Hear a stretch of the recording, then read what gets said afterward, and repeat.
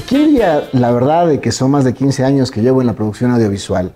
Eh, yo soy de la generación que cree que la televisión, la radio, eran eh, los eh, lugares, ¿no? esos nichos donde la producción multimedia tenía que desarrollarse. Cuando comencé, la verdad es de que las redes sociales eran muy, pero muy chiquitas en, en Bolivia, obviamente, pero lanzarse a, ser exitoso en estos medios era algo muy utópico. La verdad, eh, las redes eran prácticamente inexistentes, el, el, acceso a Internet también era muy, pero muy escaso, pero ha habido gente que sí lo hizo y sí se animó. Pero nuestro invitado no solamente se animó, sino que llegó a hacer algo, para mí, impensado e inimaginado. Ayer hacíamos simples cálculos matemáticos y en Facebook él solo tiene más seguidores que el top 5 denominado de influencers que conocemos. Les mando un gran abrazo a varios de mis amigos que están ahí, pero él, él es el gigante de Bolivia. Así, tal cual. Creció y comenzó en una de las redes más difíciles del mundo, pero más estables y de alguna manera incluso más respetables. YouTube hoy lo tiene a él con más de 2 millones de suscriptores. 2 millones. Creo que con eso con la música que ha llegado a cientos de millones de vistas sumados en total, es, sin lugar a dudas, uno de los artistas más importantes que tiene nuestro país. Y ojo, muy jovencito. Sí, porque comenzó desde muy, pero muy joven a esta incursión que hoy lo lleva a estar, me atrevo a decir, más arriba en visualizaciones y en redes que los carcas, más arriba que todos los grupos musicales que conocemos. Solo él, productor y la verdad, un gran artista y gran persona, con nosotros Elías Ayaviri. Vean.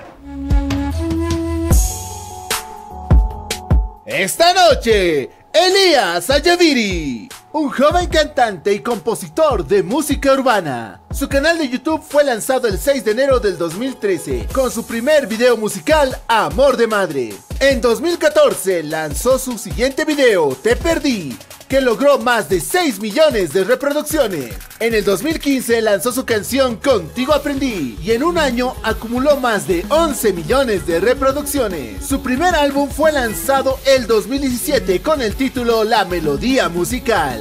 Actualmente tiene más de 2 millones de suscriptores en YouTube y cada día va creciendo más en sus redes sociales. Elías Achaviri es nuestro invitado esta noche en el QD Show. Elías Achaviri con nosotros, señores. Gracias, gracias a toda la gente. Mi hermano, muchas gracias. Este, bienvenido. Muchas, pero muchas gracias por aceptar la invitación. Igualmente. Dan miedo tus números, hermano. Te lo digo en serio, da miedo. Yo creo que es gracias al público, al público que, siempre ha estado conmigo, ¿no? Desde que he empezado y, el movimiento ha seguido creciendo. Pero es que es, que es, es un fenómeno increíble y, y, la verdad, o sea, yo viendo lo que hacías, este, vuelvo a decirte, con esto de las redes sociales, que seguramente tú ahora lo debes sentir un poquito, ¿no? Esto de los números, entre comillas, el hecho de la, de la fanaticada y demás, este, en esto de las redes y el hecho de los comentarios eh, afecta mucho. Los influencers que se dominan así luchan por esto. Sí, esa siempre es la meta, o sea, que llegar a la, a la mayor cantidad de gente que pueda ver tu, tu trabajo, lo que haces y, y de verdad yo me siento muy feliz porque hasta cierto punto a veces yo no me la creía. Y te voy a ir comentando más o menos el por qué, qué es lo que ha pasado y todo, ¿no? Pero feliz, muy feliz de, de, verdad esa gran presentación que me has hecho y, y así. Hermano, vos te diste cuenta que eras muy grande hace ya bastante tiempo, porque fuiste creciendo, eh, o sea, muchos pueden creer que fuiste un, tuviste un crecimiento, digamos, viral, que, que tuviste algo, ¿no? Pero lo tuyo fue realmente un trabajo constante de crecimiento viral, pero de años. Sí. Pero antes de llegar a eso, quiero que me comentes un poquito si siempre esto del ámbito artístico estaba en ti. ¿Siempre? ¿Desde, desde que te acuerdas? Y desde que, sea, desde que era niño, sí. ¿Sí? Sí. ¿A qué edad te diste cuenta de eso? Eh, mira, te voy a comentar un poquito de mi niñez. Yo vengo de una familia de cinco hermanos. Eh, a mis cinco años yo veía a mi papá tocar. Mi papá tenía un grupo de, de música charangueo. Charangueo que era tipo norte potosino más o menos. Ya. Y, y él ensayaba en mi casa con sus amigos, creo. Entonces, eh, mi papá es, todos venimos de una familia evangélica. Ya. Entonces, eh, él este, en la iglesia tocaba y en mi casa ensayaban ahí con las hermanas. Y yo lo veía, incluso macaneaba con su guitarra, así como que disimuladamente. Y no sé por qué lo hacía, la verdad, no sé, me sentía bien en ese... en ese- eso. Ajá. ¿A qué edad más o menos? Fue a mis cinco años. Cinco años. Y a mis seis años, un día en la iglesia, compraron una batería. Como que yo dije, "Ucha, qué bonito instrumento. Y lo veía tocar al que tocaba, que se llamaba Marcelo, me acuerdo. Y me emocionaba, yo quiero ser como él, dije. Y a mis siete años, te cuento que el pastor de mi iglesia un día me vio tocar y todo, y me metieron al ministerio de alabanza. Ya. Y a mis siete años, ya mi iglesia era el baterista del ministerio, o sea, el, el- el Y niño. Ya, ya tocabas. Ya sí. tocaba. ¿Y, Y, cómo te enseñaron? O sea, ¿fue fácil para ti? O sea, ¿lo, lo, lo aprendiste? Lo aprendí viendo, porque no me enseñaron nadie, pero sí como que la batería tiene, tiene, es que hay que darle ritmo. Claro. Y yo dije, ah, esto es así, ah, sí, sí, sí, así. Y fue así, digamos, que, que me encantó, o sea, la forma en que, que era fácil para mí hacer música, ¿entiendes? O sea, no me costaba, era muy fácil como que mi mente, todos los ritmos de wine o que mi iglesia tocaban igual himnos, y podía. Podías- Tenías Entonces, el ritmo. Ajá. Entonces, a mis 10 años, te cuento que yo ya quería lanzarme como artista. A los 10 Sí, años. o sea, porque- bueno, ya tenías 6 Exacto. años de baterista, ¿no? O sea. ¿y tocabas cuánto tiempo? O sea, en mi días- iglesia como dos o tres años, creo. En ese tiempo. Ajá, y- Tocabas los fines de semana. Sí, eran los domingos, los domingos. que eran las noches de cultos, pero también como era niño, te cuento que incluso iba los miércoles, como era más vacío, Ajá. Me encantaba ahí lucir, me tocaba fuerte y me decían los hermanos, Elías, bájale, bájale, o sea, te estás emocionando, digamos. ¡Qué lindo! Ah, y- Pero qué, bonito de, de tus hermanos, como les dices ellos Sí. de iglesia, que te apoyen, ¿no? O sea, en vez de reñirte, ¿no? O algo así, te decían, bájale Claro. un poquito, pero, pero estaba, estaba contigo, ¿no? ¡Qué lindo! Sí, y, y de ahí, a mis 10 años, mi papá grabó su primer disco y me dijo, Elías, eh, toca en el video. Toca, su grupo se llamaba El Buen Samaritano. Y, y yo no cantaba, obviamente, pero me dijo, toca la guitarra. Y, y- y mi papá me enseñó a tocar lo, lo básico en guitarra, notas musicales. Pero yo, viéndolo igual, le saqué el Ujú. ritmo. O sea, ah, fácil fue para mí tocar guitarra a mis 10 años. Y en sus videos yo salgo tocando. Esos videos, eh, este, creo que recién lo va a subir a YouTube porque hemos encontrado apenas Ah, o el sea, disco. no, no lo lograron subir, bueno, en ese tiempo no. En ese tiempo era el cassette DVD también Claro, que estaba de moda y, eran pues DVDs que copió como unos cin- 500 copias copió papá para eh, vender yo creo. Claro. Y, y- y quise buscar harto tiempo pero recién lo encontramos así que yo creo que lo voy a subir igual para un poco de Claro, mostrar. güey. Y ahí estoy niño tocando la guitarra y, y yo dije yo igual quiero ser como mi papá dije. Quiero, Y mi papá lastimosamente tenía creo 40 años en ese tiempo y no le fue bien, o sea, sus discos creo que se echaron a perder, incluso tuvo que regalar sus discos porque no lo compraron, ¿no? Y, y me lo dijo a mí mi papá, o sea, que, que era para Dios, pero no importa, hijo, hay cosas que lo hemos hecho. Entonces, eh, luego de eso yo a mis 11 años ya quería ser cantante, ¿sabes qué hacía? En mi colegio estaba de moda en ese tiempo Kudai, y Niga, Niga no es, Sí, es, sí, es claro. bacano. Ajá. Y me gustaba esa música, o sea, sentía, me ponía auriculares en ese tiempo y imaginaba que yo era el que estaba cantando, así como que a mi Y chica. claro, es una música bien Ajá. cortavenas también. Sí, Sí, Y, y me emocionaba, y, e incluso me imaginaba un público cerca de mí y decía, "Ah, para ustedes, y, y- y ya, o sea, ya macaneaba con eso. Claro. Y, y- pero yo hasta ese momento no me veía como artista, digamos, solo era como una ilusión, Ya. un sueño, así que quería hacerlo. Entonces, a mis 12 años, y yo estaba, pues había entrado ya séptimo, creo, de colegio.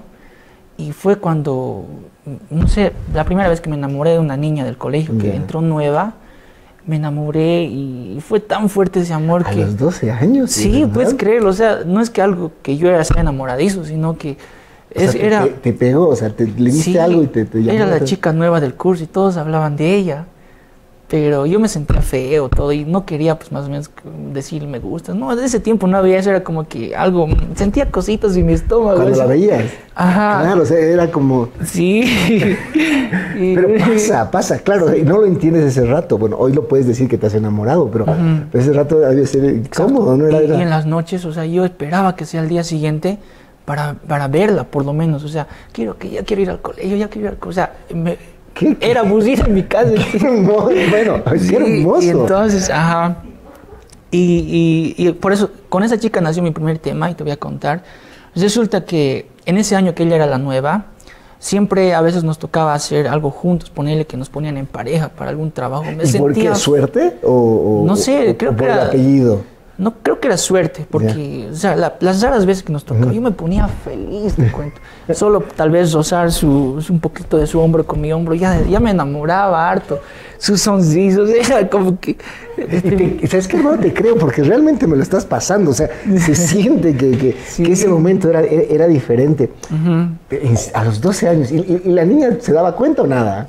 Creo que no se daba cuenta porque obviamente ella, o sea, yo nunca le dije, pues, ¿no? Claro. Pero cuando nos cuando pasamos de curso, Ajá. hicimos un viaje de curso, creo al valle en ese tiempo y en ahí fue donde sentí más conexión y quería declarar, quería decírselo.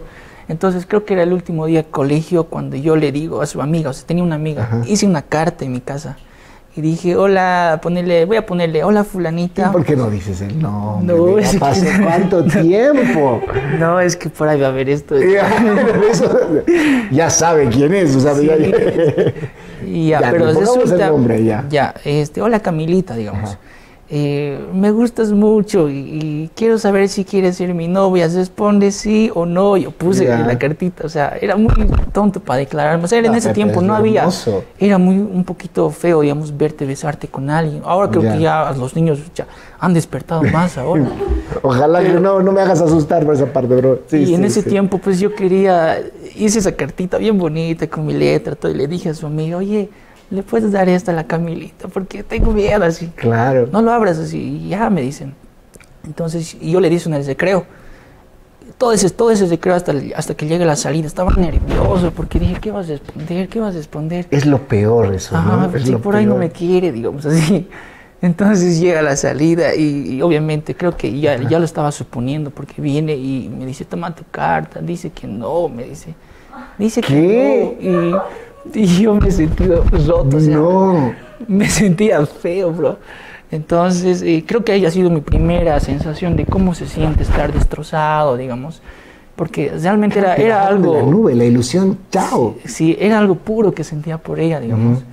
Entonces, que me, que me rechace. Yo ya me sentía el chico más feo, me sentía como que seguro no le gusta a nadie, así. Era muy... Y, y sentí eso, pues esa ruptura. Entonces, yo escribí ahí una canción chistosita, que nunca la subí, pero escribí una canción. Entonces, solo la escribí, digamos. No, yo ¿Ya to- escribías antes o no? no, más No, antes no, En ahí escribí, ¿por qué te digo? Porque alguna vez yo, como era fan de Niga, dije, Sí. ¿por qué no puedo hacer algo así, más o menos? Y ya tocaba la guitarra para ese entonces. Entonces agarré mi guitarra en mi cuarto, me encerraba y, y recordando en ella tocaba, cantaba hasta canciones de Niga. Ya. Pero solo para mí, digamos. Y, y- y no sé por qué, pero ella me ha hecho nacer ese sueño así de escribir, porque yo más antes no tenía el plan de escribir. Entonces escribí una cancioncita que trataba de que, ¿por qué me rechazaste? Ya. Así, como desquitándome. Claro. Y así, ¿Qué ¿no? ritmo tenía? ¿Te acuerdas? Era... Creo que era como una de niga, así, Ya. romántica, romántica. Entonces, era chistosa la, la melodía, todo. Y este, desde ahí ha empezado como que un poquito mi, creo que he despertado en el tema amoroso. Ajá. Porque igual al siguiente año apareció otra chica en mi colegio que también me gustaba. Otra vez, las nuevas, algo había con las nuevas. Sí, algo tenía. Era raro. Entonces, ya creo que tenía 13 años hasta ese entonces. Ahí sí ya empecé como que a escribir la primera canción que es Contigo Aprendí. Sí. pero mm, obviamente su éxito ha sido mucho después. Pero cuando escribí esa canción, este... O sea, ¿la escribiste para la segunda muchacha o, o- o- o era como un recuerdo de la primera? Ahorita creo que es para la segunda, porque no recuerdo bien en, qué momento exacto la escribí, pero era una noche en mi computadora, solas. y, y mi papá compró una computadora. eh, Cuando ya pasamos de curso, creo, para hacer trabajos y todo, necesitábamos. Entonces mi papá compró esa computadora y, y yo más bien tenía facilidad de usar la computadora, no sé cómo, o sea, y teníamos un audífono que tenía un microfonito. Ajá. Y un día de esos yo por curioso dije, ¿cómo se graban los artistas, digamos? Y teníamos también internet. Ya. Busco en internet y, y veo que, que tenías que tener un programa, que me descargué ese programa y me sentí tan feliz al poder escucharme mi voz porque yo me grabé con ese microfonito, Ajá. sin saber nada de producción. Le puse grabar, aquí, ¿dónde está sonando? ¿Dónde? ¿Dónde? ¿Por qué se escucha mi voz? Y en verdad, aquí sí estaba el micrófono, era un audifonito. Y me escuché y dije, oye, tengo que hacer algo así, tengo que grabar mis temas. Y Claro. me emocioné harto. Y por eso que en ahí fue donde ya tuve la maqueta de Contigo Aprendí. Porque fue una noche así como te digo, sin pensar que sería mi, mi hit. Sí. Fue una noche en donde dije, creo que por, por la segunda hice esto. "Tan, tarara, ¿por qué desamar? Entonces resulta que ya tenía la maqueta, pero yo no tenía en mi plan lanzarlo o algo porque tampoco sabía de internet mucho, o sea, cómo se subía. Pa- Para la gente que no sabe qué es maqueta. En maqueta es como que un demo que grabas en borrador. O sea, un demo que grabas, que tienes ya la idea principal. Ah, ya estaba como que grabadito en, en- en Ajá, bruto, digamos. ajá. Ya. Y pues este, con esa maqueta que yo ya tenía, eh, solo la escuchaba para mí, "Uta, qué lindo, ¿qué más le puedo poner así? Súper eh, básico, digamos, tenía mala calidad, todo porque ese micrófono igual era así. Entonces, eh, no sabía cuándo lanzarla, digamos. Hasta que creo que tuve 14 años, cuando ya yo me creé mi canal de YouTube. Ya. A tus 14. Ajá, me creé, en ese tiempo habrá sido el 2013 o 2012, no me acuerdo. Sí, el 2012. Y quería ¿no? ser yo artista. Y ya- ahí sí ya dije, ya voy a ser artista. Que siempre es, digamos así. Y, y tampoco sabía subir videos. Y tuve que darme a un amigo que aún me acuerdo, si es que me, me acuerdo, se acuerda de mí, se llamaba Vico Durán. Que yo fui a su casa y él me dijo, así se sube un video, no es difícil. Y vi que era muy sencillo subir un video a YouTube. Ah, solo necesitabas buen internet nada más. Entonces eh, yo preparé esa canción y dije, voy a volverlas de grabar, porque ya sé cómo se sube un video. Entonces la- las regrabé, eh, me compré otro microfonito que era igual un poquito más de corbatero, creo que un larguito, ¿no ve? Ajá. Tipo en oficina usaban.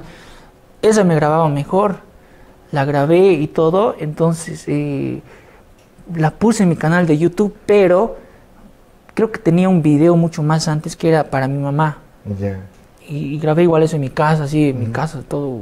Y, y creo que subí, subí ese primer video para hacer, con Ajá. una película más que me acuerdo que le puse. Luego de esas decían subir la de Contigo ¿Y Aprendí. qué, qué, qué videos le pusiste? ¿Qué, qué cosas? De una película de madre, no sé si viste, es de un peruano, que yo era su fan y, y me llegó al corazón esa canción. Y dije, voy a hacer una canción para las mamás. Y hice esa canción, pero no tuvo éxito porque era como mi, mi empiezo, o sea, quería hacer algo diferente.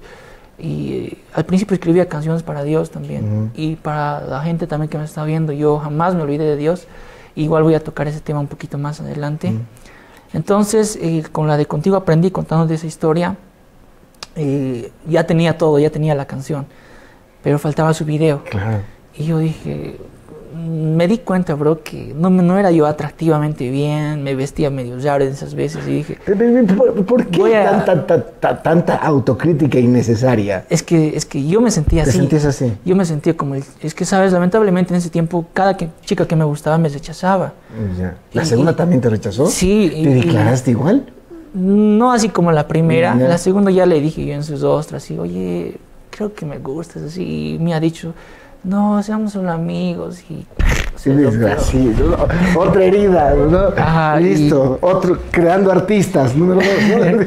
¿no? Sí, es que era muy enamorada en el colegio, entonces, eh, por eso que Nay, la de Contigo Aprendí, tenía mucho sentimiento. porque Sí. Yo estaba así como, me gustaba creo estar dolido también, porque ya era, ya era normal, Ya- me sentía ya normal, que, normal. que me rechazaran. O sea, ya dije, es que en mi curso habían dos chicos que todas las niñas los molestaban a ellos. Y, y- Sí, y por sí. ahí escuché comentarios así en mi colegio de que, oye, ese chico es bonito, ese chico. Pero a mí nadie me decía eso, pues y dije, Ya. "Ah, ya me di cuenta. creo que soy el feo del curso. Así. No, no puedo creerlo. Ajá, y, y por eso te digo, o sea, yo me sentía como muy, muy baja autoestima. Sí, sí. Entonces, Que eh, ojo, es muy normal eso en, en claro, esa edad. en Sí, colegio todos pasamos a veces eso. Entonces yo dije, no voy a poner mi cara en esta canción, voy a hacer un video editadito de chinitos, y una novela coreana, me acuerdo.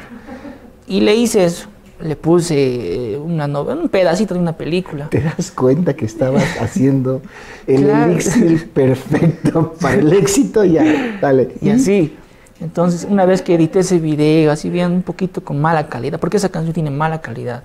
Pero, o sea, como te digo, si tú piensas porque lo he grabado con un micrófono de 20 Ajá. pesos, la computadora también súper básica, pero lo lancé a YouTube y este, te tuvo, creo, para esa semana 5 mil visitas. En esa semana. En esa semana.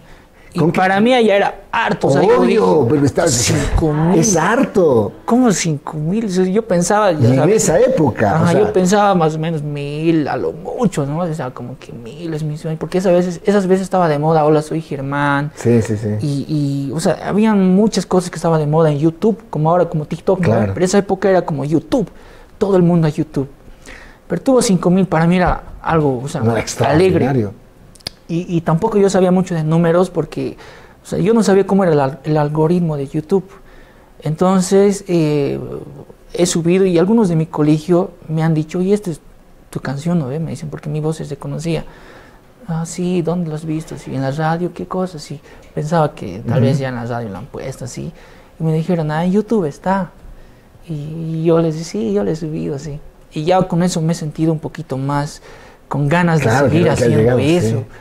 Entonces dije, tengo que preparar otra cancioncita.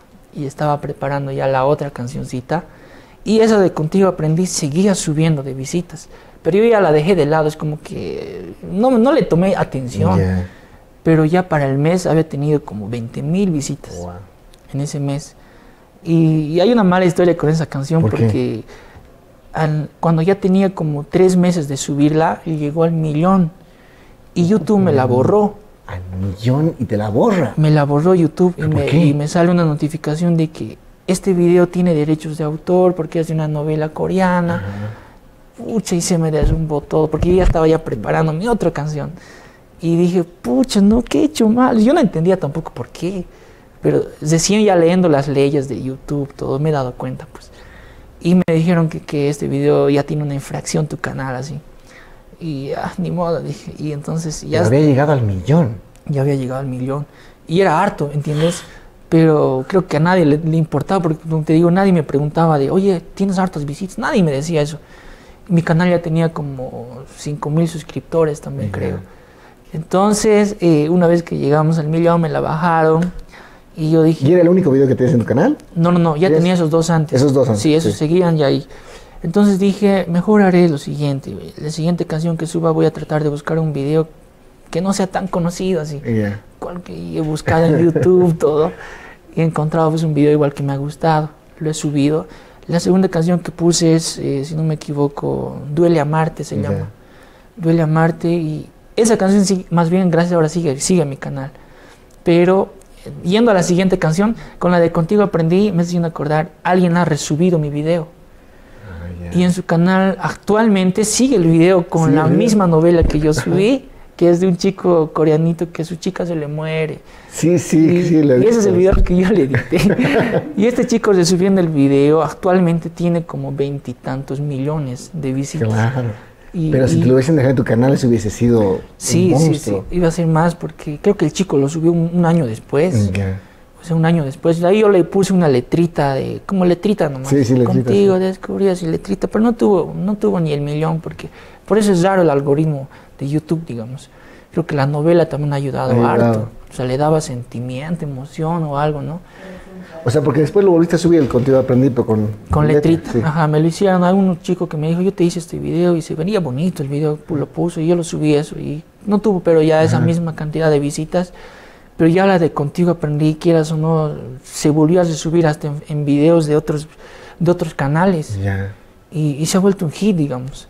Entonces, eh, y la siguiente canción se llamaba Duele Amarte. Y en esa canción igual les gustó a varias personas, este, no me acuerdo la cantidad de visitas que tiene hasta ahorita, pero igual a- les ha gustado mucho. Y hay un grupo de Estados Unidos que me, dijo, me dijeron, ¿no? Esas veces, queremos volver a tu canción Duele Amarte en cumbia. Es un grupo de música mexicana, pero en Estados Unidos. Y yo les dije, ya, háganlo, digamos. Y yo pensé que nomás era dar, decirles, ya, ¿dónde te depositamos por las regalías? No sé qué me hablaron. Y yo dije, ¿cómo es esto? Me van a pagar así. Claro. Yo más bien feliz de que utilizaran gratis, ¿no? Porque como te no sabía nada del movimiento artístico. No, en cero yo. Por mí feliz con que los 14 años, hermano, o sea. Y me dijeron, necesitamos saber quién es el compositor, cómo lo has... Si eres tú, porque luego nosotros nos metemos en problemas, me dijeron. Yo la he escrito, le dije, yo les he escrito toda la melodía, guitarra, todo lo que tiene esa canción, la escribí, le dije. Y me pagaron algo de como 500 dólares, que para ese tiempo era harto para mí. Claro.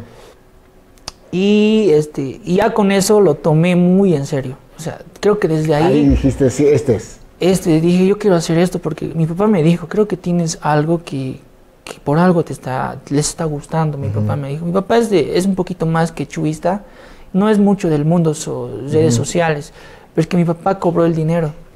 Y me dijo, métele, métele, es como que creo que quería, ¿no? Billetes. y, me dijo, seguí haciendo. Y compramos otra computadora. Ya. Compramos otra computadora un poco mejor, así con un poquito más de potencia y todo.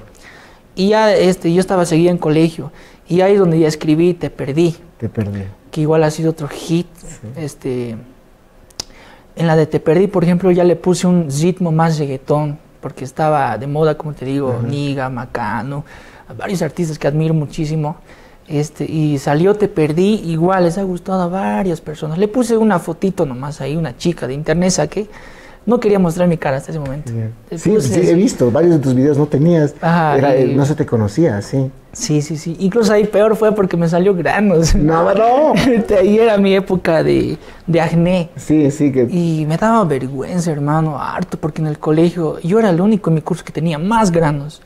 Mi frente lleno de granos y te juro, sentía una autoestima muy baja. Claro, te, estaba pegando toda la adolescencia, pero Ah, sí, y así fue. Entonces, y la única manera así como que de sentirme bien conmigo mismo era estando en mi cuarto solito con mi guitarra y la computadora.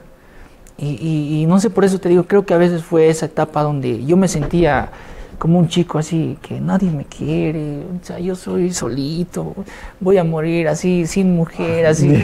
Entonces, es que de verdad no he tenido novia durante ese tiempo. Ese tiempo, claro. Y, mi colegio, o sea, ya mis compañeritos, mis amigos, hasta algunas chicas me decían, oye, yo, me está hablando, digamos, ¿qué? Le digo, tu amigo me gusta. No, me no, y, y, me decía, le puedes decir así.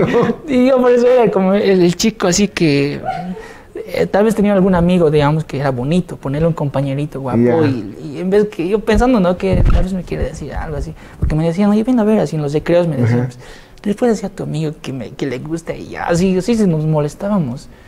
Y yo, ya, le voy a decir, digamos. Entonces me sentía mal. Obvio. y nunca ninguna chica, digamos, decía, oye, el, Elías es bonito. Nunca. O sea, por eso te digo, tenía una autoestima ya. Claro, tal, vez es lo que tú pensabas, ¿no? Pero, pero obviamente entiendo de que veías todo como una... Era, complicado, ¿no? Exacto. Entonces ahí fue donde lancé Te Perdí. ¿Y por qué, esa, quién, por qué Te Perdí? Eh, en esa de Perdí, lamentablemente no me acuerdo si es por una chica, pero sí era porque yo me sentía triste. Y, y, esa vez, ya para ese momento, yo ya lo vi, como te digo, hacer música como, como una carrera lo estaba tomando, porque dije, tengo que hacer una letra triste que se identifique a la gente. Que porque eso, es lo que había pasado con las otras letras. Ajá, porque tal vez me puedan comprar de vuelta, si ya lo vi. Entonces escribí esa canción, Te perdí desde que tú ya no estás, nada ha sido igual. Entonces esa canción la terminé de, ¿sabes qué, hermano? de grabar. tus letras y, la voz y, el, tono que has sacado sí. Eh, ya es parte de, YouTube, ya es parte de la, música y de una cultura urbana que, que has marcado. Vamos a cantar, obviamente. Claro. Pero dame una pausa, ¿te parece? Claro que sí. Vamos a una pausa y al volver a la pausa tenemos que seguir con mucho más del QE Show porque Elías Ayaví está con nosotros y estoy seguro que tus fans nos están siguiendo. Claro. Vamos a romper récords, estoy seguro. Le vas a ganar a Laura Bozo, estoy segurísimo en el récord top que hemos tenido. Pero pausa chiquita y volvemos. Les quiero.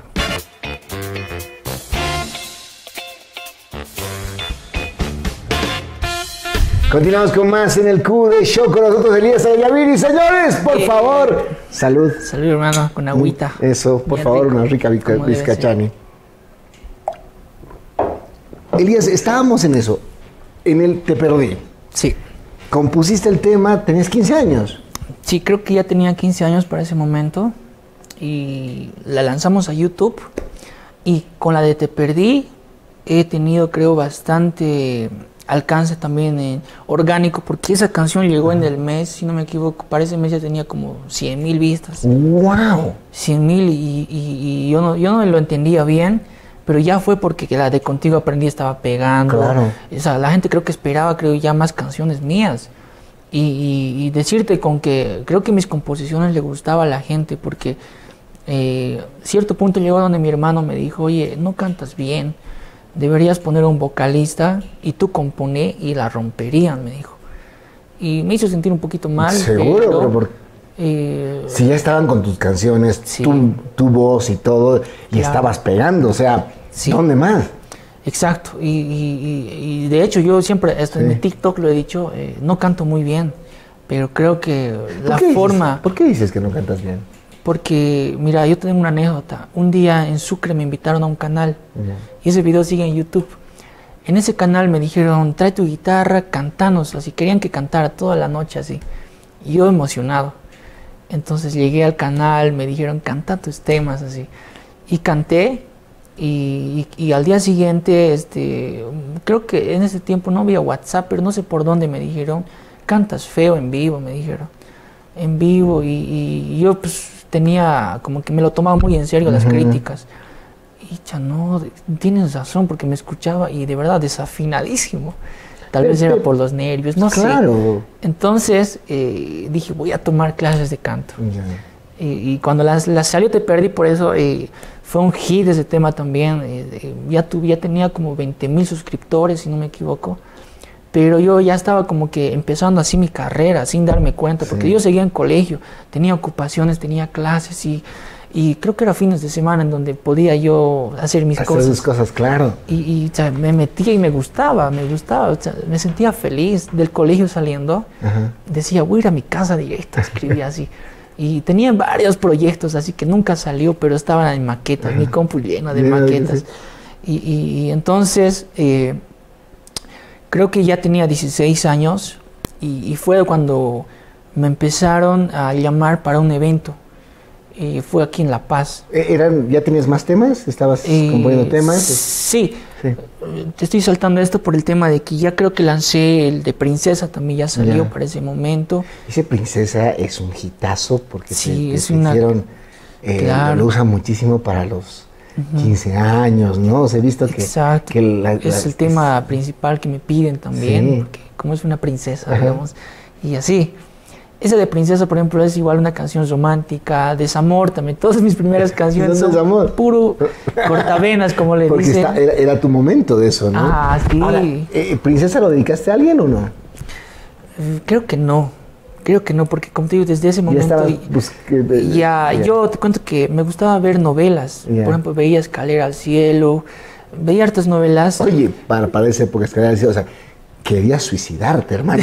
Es más triste. Sí, y es que veía eso más o menos para sacar ideas. Ideas, entiendo. Y también me gustaba porque yo decía, "Ucha, quisiera ser como. Era una parejita Junsu y la otra sí, chica, sí, ¿no?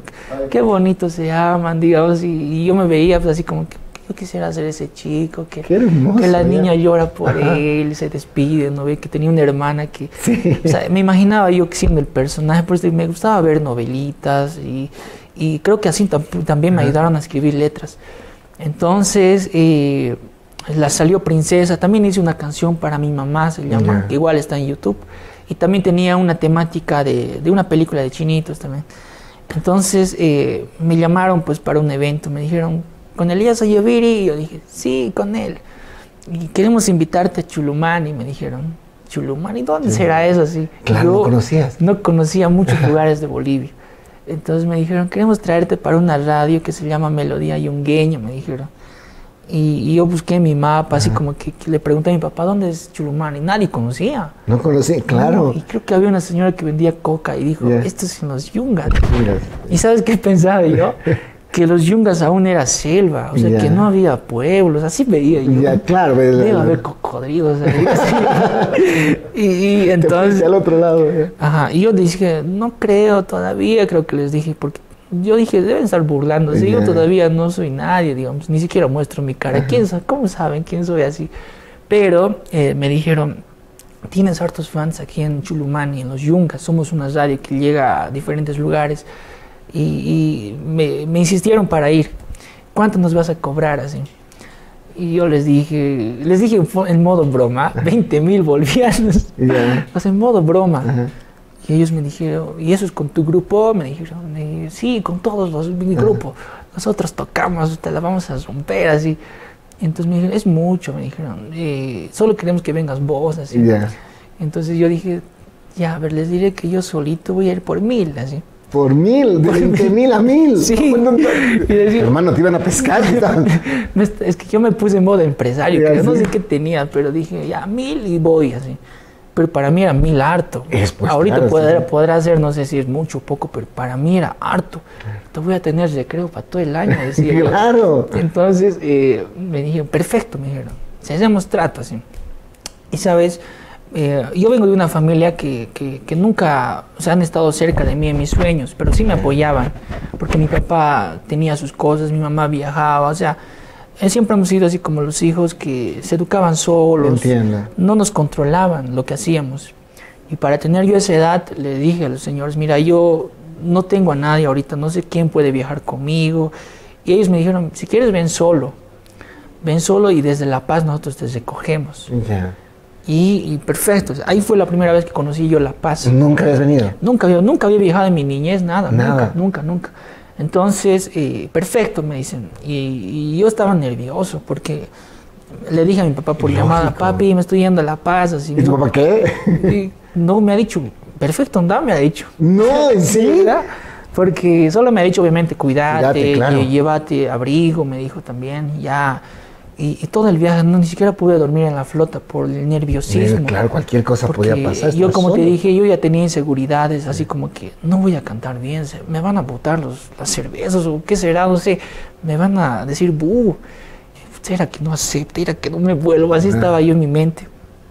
Llegué a La Paz, me recogieron, el chico era muy amable, no me acuerdo bien de su nombre, pero eh, nos fuimos en una flota hasta Chulumani. Imagínate esa travesía, nos, nos- me puso en el asiento de adelante del- de, Dios flota. mío, o sea, te, te- te comiste todo el camino a los Sí, yungas. ya no ve que su Sí, ventana, sí, sí. se ve todo el Todo, camino. Me, me asusté, yo dije, este es el camino de la muerte. Sí, pues. Y sí, no, no pasa nada, me decía él, así feliz, en el Feliz. asiento, yo viendo el paisaje y todo.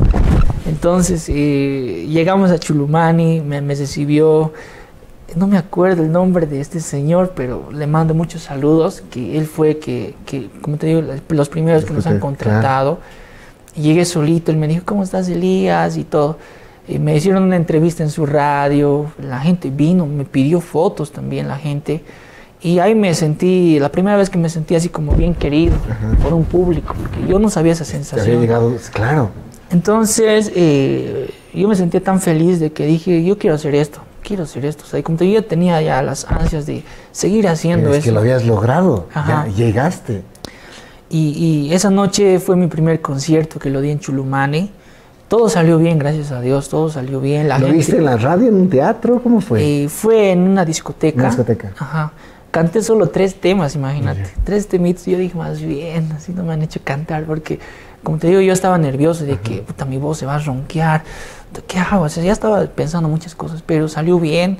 La gente me pidió fotos también y me sentí tan feliz después de ese viaje que llegando a Sucre dije, tengo que preparar mi otro hit. O sea, claro. tengo que preparar. Y, y Tengo estaba... que tener un concierto, o sea, ya los 12 temas. Ajá, y, y así, digamos. A mis 17 años yo terminé el colegio. Ajá. Entonces ya al terminar el colegio yo ya estaba ya en mi mente es ser estrella, quiero ser, quería muchos. Ya, ya, ya habías, ya, ya, ya Ajá. habías tomado un poquito del, Sí. del elixir de, eso, ¿no? Ajá, y mi canal de YouTube ya tenía creo 60 mil suscriptores. 60 mil suscriptores. Ajá, Wow. Con, como con seis videos creo Con que ya estaban en ese momento. Entonces, este, terminé el colegio y, y de verdad ahí sí lo tomé muy en serio. Lancé la canción Yo la quería, Ya. que ya ahí me ayudaron algunos amigos con mejor producción de video. No era la mejor, pero para ese momento era ya pasable. ¿Estos amigos te- los, los conseguiste? te- te Sí, sí, los conocí en Sucre, no me acuerdo cómo, pero me colaboraron y, y, ¿Y ya aparecías en el video o todavía no? y no, y por eso Ahí sí. ya fue mi primera vez que me grabaron, todo flaquito estaba en ese Sí. video, se llama Yo la quería, y ahí fue cuando la, si verías los comentarios antiguos, no puedo creer que Elías sea tan chico, Elías pensé que era una mujer, pensé, así comentaban. Ya. Y, y es que con ese video ya me di como que ya A conocer, claro. como chico, digamos. ¿Y por qué salí en ese video? Porque ya se me habían perdido un poquito los acnés, todo. Y ya me sentí un poquito mejor. Ah, ya había Entonces, pasado y ya, ya estabas Ah, que y sí. dije, La ah. Chulumán me debía ayudar mucho también, ¿no? O sea, te, a sí, reconfortarte. hasta hice una canción para esa radio porque me dijeron, queremos que hagas una canción y, y lo deben tener todavía. Claro. Fue la primera canción que escribí para una empresa, Una empresa, digamos, sí. para una radio, así, ¿no? Y, y ya cuando salió yo la quería, para ese mes ya tenía un millón de visitas. En ese mes, Dios mío. en serio. Y, y yo, Ahí dijiste, esto es un hit. Sí, y, por eso, eh, como te digo, el proceso que yo pasé, cada canción que lanzaba decía, algo tengo, ¿por qué les gusta tanto mis Claro, canciones? totalmente. Y, y- y me criticaban harto en Sucre los grupos de cumbia. Porque yo así escuchaba comentarios de que, ah, ese disque es rapero que canta feo, como chica. Habían también raperos que un poquito no les gustaba creer el contenido que yo hacía, porque yo, en Sucre es muy fuerte el tema, esos tiempos era muy fuerte el tema del rap callejero. Sí. Y yo salí pues, con un rap diferente. Diferente, romántico, distinto. Exacto, sí. entonces eh, yo respeto mucho la trayectoria de esos muchachos este, y, y en Sucre, como te digo, es una ciudad muy pequeña. Entonces, eh, cuando se yo la quería, yo, yo la quería tiene un estilo rap con romance, Sí, así sí. bien fuerte, como tum, tum, tum, y estoy más rapero. Entonces, eh, esa canción les gustó a harta gente. Y, y, pues cuando yo la quería, ya, ya dije, tengo que hacer algo serio, tengo que hacer un proyecto, tengo que verme. Y, y yo no entendía también, ¿sabes? Que no había gente que me propusiera Claro, crecer. claro, Seguía sí, solo hasta ese momento. Yo era quien editaba incluso algunas partes del video porque me dice mi amigo, no me gustó cómo editó, digamos. Ujú. Dije, esto arreglamos, arreglamos, arreglamos así. Pero este, salió bien esa canción. Y desde, desde ahí, desde que terminé el colegio, este, yo dije, tenemos que romperlo, o sea, quiero hacer más cosas así, ¿no? Y me metí a la carrera de comunicación social. Ya, claro que Me metí a esa carrera de comunicación social porque vi este, que en ahí te enseñan a expresarte mejor, había el tema de radio, televisión. Claro, querías estar en Yo el- quería hacer así como que, este creo que va con el medio artístico Ajá. que quiero hacer, digamos. Me metí a la carrera de comunicación y, y el primer año la pasé muy bien. Tuve que congelar casi la música porque Ya. teníamos tantos compromisos, tareas, proyectos. No podía, no podía, digamos, hacer música. Me sentía un poquito mal, decía, pero esto no era lo que yo quería porque era más política. Ya. Mm, ¿A qué hora nos van a hacer hacer teatro o algo así? Claro, estabas buscando el arte, sí. sí. Yo quería hacer arte. Me gusta actuar también, ¿Sí? no te comenté. Ajá, me gusta actuar. ¿Siempre entonces- actuaste? O sea, ¿en colegio actuaste? Hacías... Sí, en colegio hacíamos mimos también, me gustaba actuar. Los chicos que me ven de colegio, por ejemplo, esos tiempos, saben que en colegio yo era bien activo, así como Ya. que me ponían mimos, hacíamos horas cívicas, donde yo era, pues, es que todos se reían con mis ocurrencias. Ya, o sea, eh, claro, era tu manera también para Ajá. agarrar. Entiendo. ¿Y qué- cómo así, siendo el gracioso, no, no, no estuviste con enamorada en colegio? ¿O, o sí estuviste con enamorada en colegio? Creo que en la promoción sí ya tuve una enamorada, pero igual terminamos también. Era gracioso, obviamente, pero como que no era un amor así bien puro, digamos. Entiendo. Nos veíamos un ratito y así, digamos, en los recreitos, entonces no era pues un amor así como tal. En la universidad fue cuando me enamoré, digamos, por primera vez así de una persona. Y así, entonces eh, yo en la universidad me sentía un poquito mal. Llegó mi segundo año, seguíamos con tareas, teníamos que hacer periódicos. Y yo dije, pucha, creo que tengo que dejar esta carrera. Mi papá me estaba presionando a estudiar. Claro. Mi papá me dijo, no, tienes que tener un título de cine hacer música, madura, me decía. Mi mamá también me apoyaba, pero ya para ese entonces yo dije, no, es que tampoco, no te contesto, pero yo no generaba ni un peso de YouTube. Eso quería preguntarte, ¿cuántos suscriptores tenías ahí? Ya, tenía como porque- 100 mil ahí. O sea, ya llega, ¿y ya te llegó el botón o cómo fue? Se supone que tenía que llegarme, pero yo no lo reclamé ¿No lo nunca. reclamaste? Sí, igual te voy a contar más Ah, sí. adelante las placas.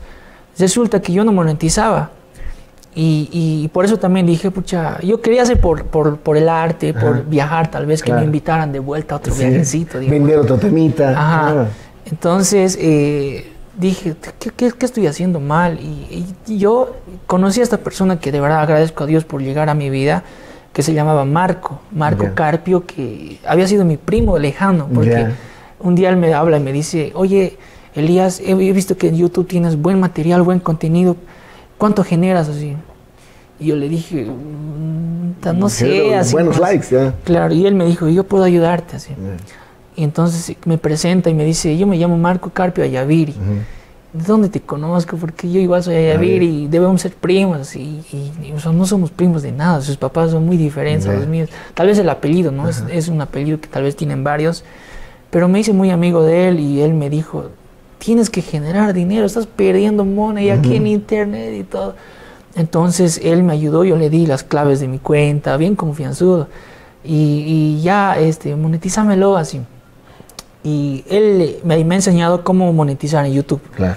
En ese tiempo era pues el 2017 o 2018, no me acuerdo. Cuando recién se habilitó la monetización. En Bolivia incluso más no Sí, se podía. no se podía, Difícil. En ese momento creo que ya se podía, pero haciendo truquitos, porque Ya. Nunca te llegaba la carta con un código que, Sí. te que, te- que supuestamente te envían, pero no llegaba. Entonces él, él creo que ya sabía eso. Entonces él hizo toda esa tranza de, de monetizar. Salió la publicidad en mi canal, ya pues ahí pude ver Sí. anuncios de Viva, creo, Claro. de Tigo. Y, y yo pensaba, pensaba que el- el- lo que pagaba era poquito. O sea, debe ser poquito, digamos, no creo que sea mucho. Pero este, ya acumulando, creo, en ese año, no, puedo, no voy a decirte números, pero yo dije, quiero vivir de la música. Totalmente.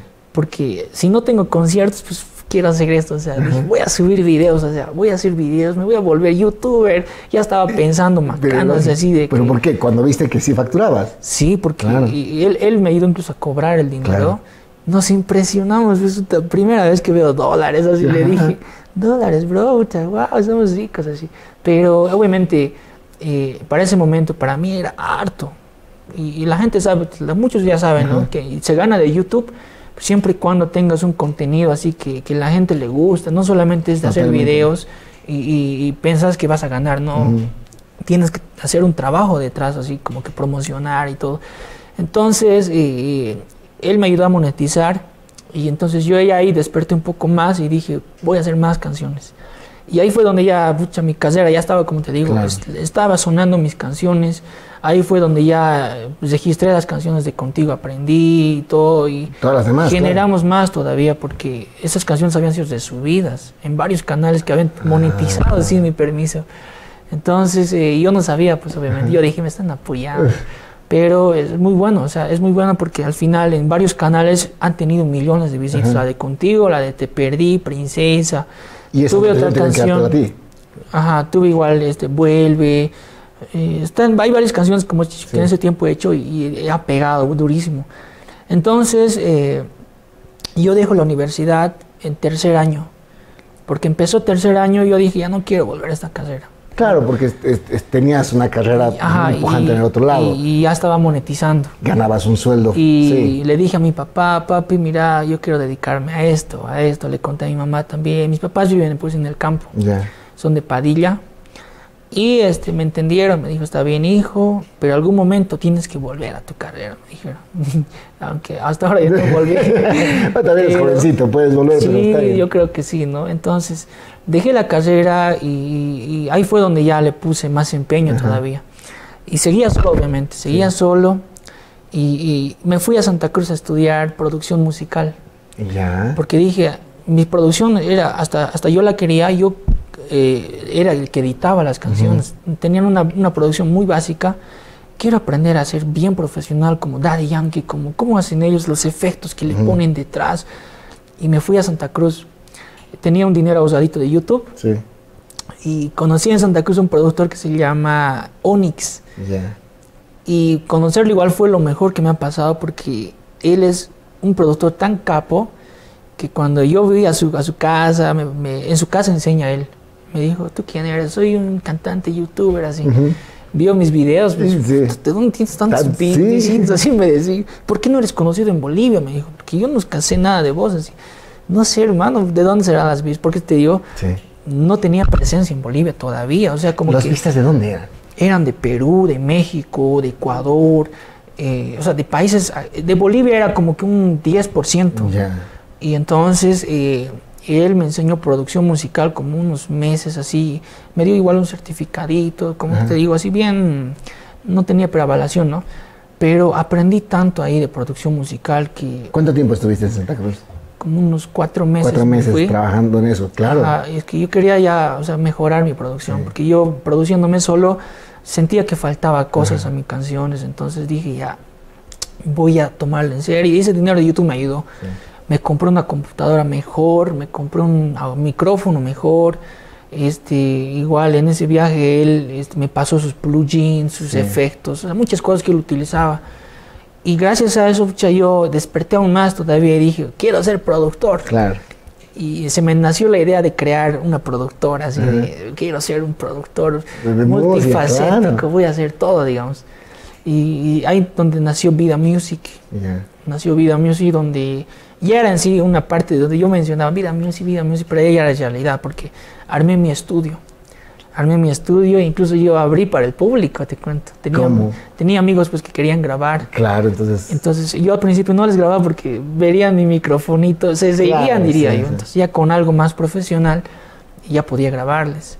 Entonces eh, ya sabía producción musical, empecé ya ahí a, a hacer más cosas así, empecé a ambientarme más, aprendí igual a hacer pistas mucho mejores, me gustaba mucho eh, hacer pistas. Te, ejemplo. te- te era muy fácil eso, ¿no? Desde muy chico tenías la, la ri- el ritmo y Exacto, demás. sí, con la guitarra y como vos sabes, tanta tecnología hoy en día, Ayuda y igual para los que quieren empezar, en internet hay pues instrumentos nativos de violín que son muy reales, baterías que puedes, no, o sea, no necesitas ya hoy en día tener un grupo, Un para hacer música, con tal de que vos tengas un poquito de oído y toques algún instrumento, puedes crear una base de música, por ejemplo, de, con baterías, guitarras, todo gratis, plugins gratuitos. Entonces así fue que ya empecé a hacer este, más canciones. Y ahí ya salieron mis nuevas canciones, o sea, la gente lo puede ver. Obviamente no han pegado tanto como esas primeras, porque ya ahí yo empecé ya a salir a eventos. Ya. Y en los eventos, yo pensando que, que están siguiendo mi carrera, que quieren lo nuevo, queremos princesas, Princesa, te perdí, sí, me sí. pedían y, y yo se las cantaba y lloraban algunas personas, pucha, era muy bonito. Y cantaba puro los antiguitos con, los- Claro. con los que grababa con mi micrófono Sí. sencillo. Y wow, qué felicidad, o sea, me sentía feliz. Y nos llevaron igual a Perú, nos llevaron a Brasil ¿Quién, también. quién- quién les llevó? O sea, ¿ya, ya, ya había una empresa, un empresario, alguien que te contactó? En Perú teníamos que ir a Lima. Ajá. Era un empresario que, que manejaba artistas de rap.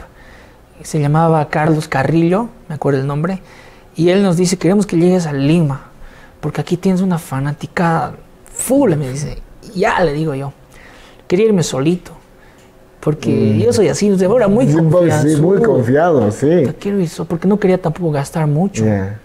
Entonces, más bien llevé a mi amigo, tenía un amigo igual que se llamaba Danico, que igual estaba en la música. Y, y yo al anunciar que me estoy yendo a Lima, que me estoy yendo a Perú, tomé, me tomé fotitos en mi página. ¿Ya Eh, tienes Facebook ahí también? Ya tenía ¿Y Facebook. Facebook ya, te, ya estaba también creciendo? O Sí, sí, sí. eh, dejando de lado YouTube, Facebook ya estaba ya con casi, no me acuerdo cuántos seguidores, pero igual ya, tenía, ya tenía mi comunidad, Ah, así sí, como sí. que eh, en Facebook también. Y creo que en ahí Instagram también empezó ya a hacerse viral, digamos. Igual Instagram tenía, digamos. Entonces la gente creo que de Perú se enteró que yo estaba llegando. Y me convoqué. El plan era irme una semanita. Llegar a Lima, volver, porque el viaje en flota era pues tres días. seguro, Y Dios. cansador el viaje. Entonces, y terminó mi concierto en Lima y, y me invitaron a tocar en Puno, en Juliaca.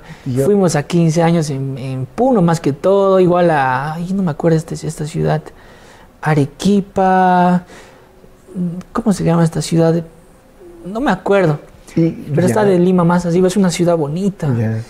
Y, y, la rompimos, hermanos. hicimos ahí hartas cosas. me enamoré de Perú porque en Perú es igual fuerte el mercado musical romántico. Claro, y, ahí te, te llega tu, digamos, eh, eh, tu potencia de, seguidores. ¡Qué increíble! Y, de ahí, volviendo de Perú a Bolivia, se me llenó la agenda para 15 años en, en todo lado. En La Paz más que todo, en Oruro en Cochabamba, el trópico de ¿Quién Cochabamba. Estaba, ¿Quién estaba manejando esa agenda ya? Yo solo, bro. Solo, o sea, te estaban llamando. Sí, yo me estaba llamando, o sea, me llamaban y sabes que yo para, es que tampoco quería tener un manager porque mm. he escuchado por ahí comentarios de que a veces se aprovechaban. Sí, sí, sí. Entonces yo dije, yo voy a ser mi propio manager, digamos. Entonces, eh, cuando llamaban a veces, yo cambiaba de voz. Hola, ¿cómo está? Eh, sí, así. Entonces, eh, claro, para que crean que sí, sí, entiendo. Entonces, así, entonces, y viajábamos, nos, me la pasé muy bien, fuimos a Chaparé. ¿Ibas solito o ya ibas con alguien? Ya iba con un guitarrista. Un guitarrista. Y a veces llevaba igual un DJ, porque a veces en los lugares donde llegábamos el DJ era un poquito, como que no ponía a tiempo tu música. Entonces, llevaré, éramos tres. tres. Qué lindo. Entonces íbamos a todo lado. Nadie he conocido hartos lugares de Bolivia, he conocido eh, todo el Chaparé conozco, por decirte, en Chaparé nos han tratado muy bien, La Paz también, hemos ido a sus provincias, Santa Cruz, Cocha, y igual ahí nos, nos, ha presentado un viaje a Brasil. En Brasil también he conocido la comunidad boliviana, y de verdad que yo, o sea, no me lo esperaba, incluso en Brasil, te cuento una anécdota, en el aeropuerto de Brasil me encontré a Chino y Nacho. Con Chino y Nacho. Y, yo, como los veía, en, en, esa época estaba sonando su canción fuerte, la de con Daddy Yankee, no ve, no me acuerdo el nombre que tiene una canción. Andas en mi cabeza, nena, todas. Esa canción estaba sonando. Y estaban ahí sin nada de fans, estábamos en preembarque. Ellos estaban así, digamos, y yo los vi y, oye, pero si son famosos, ¿por qué no hay nadie aquí que esté así gritando, digamos? Porque eso era lo normal, un artista de talla de Daddy Yankee, yo y, tenía miedo de acercarme, estaba ahí con mis dos amigos más. Nos acercaremos y, ya estaba creo a punto de salir el avión también y, creo que ya se van a ir y les pedimos fotito también y, le dije pues a Nacho, Nacho yo igual soy un cantante, algún día voy a ser como vos, le dije. Y era bonitas experiencias, se me ha gustado conocer Brasil, entonces, y así, o sea, es como que un poco de... Pero rompiste las fronteras con, con, tu música, así, y, llegando. Sí. ¿Y cómo fue? El, eh, ¿Ya ibas subiendo y habías llegado al millón en YouTube o todavía no? ¿Qué pasó con las placas? Con las placas... Eh, ¿Cuándo te das cuenta que podías pedirlas? Eh, No, yo ya me di cuenta desde Hola Soy Germán que te llegaba un reconocimiento. Pero yo pensaba que eso nunca me iba a llegar porque escuchaba por ahí viendo videos de que esas placas te las envían YouTube y como vi en Bolivia que todavía esa parte era un poco difícil, porque igual me han comentado de PayPal, para ese tiempo, o sea, yo he aprendido mucho porque necesitaba, a veces me decían, queremos una canción que hagas para mi chica, me decían, ¿cómo te puedo pagar? Y, este mi, mi, amigo me decía, créate PayPal. Entonces yo por eso desde muy temprano ya me metí a todas las plataformas y, conocía bien ya, ¿no? Y lo malo de PayPal que tampoco en Bolivia se podía usar así solo para, para comprar algo podías usarla pero no, no para retirar dinero para que te hagan pagos. Entonces yo dije, no creo que puedas retirar la placa, está difícil. Entonces el año pasado fue cuando recibí mis placas. ¿El año pasado? Ajá, de 100 las dos, las de 100 mil, de un millón. ¿Por qué? Porque eh, creo que el año pasado he visto un tutorial, no sé de qué chico boliviano retiró su placa, creo que era Eder, no, no, no, creo que era uno que hace fútbol, un youtuber. Sí, sí, sí Edson. Edson. Él mostró una placa que le llegó, entonces yo dije, ¿cómo este lo has retirado? Y yo aún no le sé. claro. Entonces yo dije, tengo que retirar. Y he intentado. Y me pidieron un código y listo, que te va a llegar al correo y ya.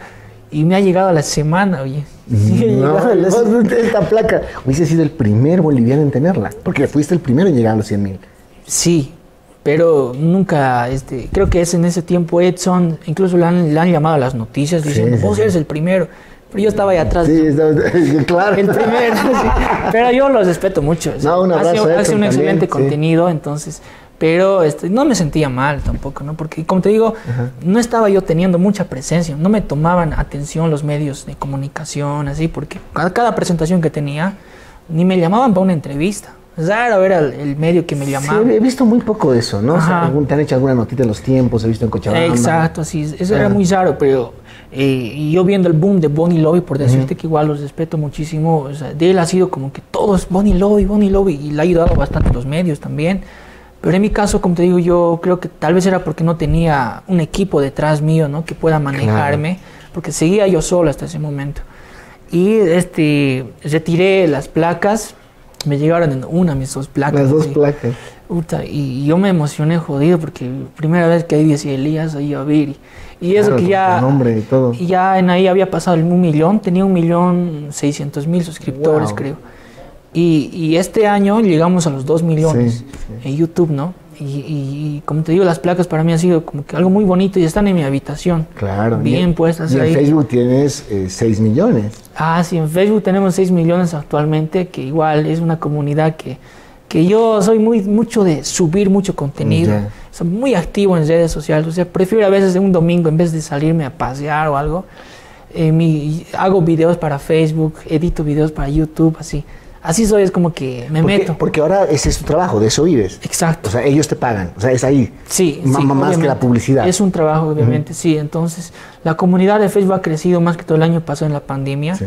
El año pasado tenía 4 millones nomás. Pero en la pandemia... No más. pues, ¿Qué, qué nos dejas a nosotros los pobres, hermano? No hagas eso. Sí. Cuatro millones no más, hermano. Así es.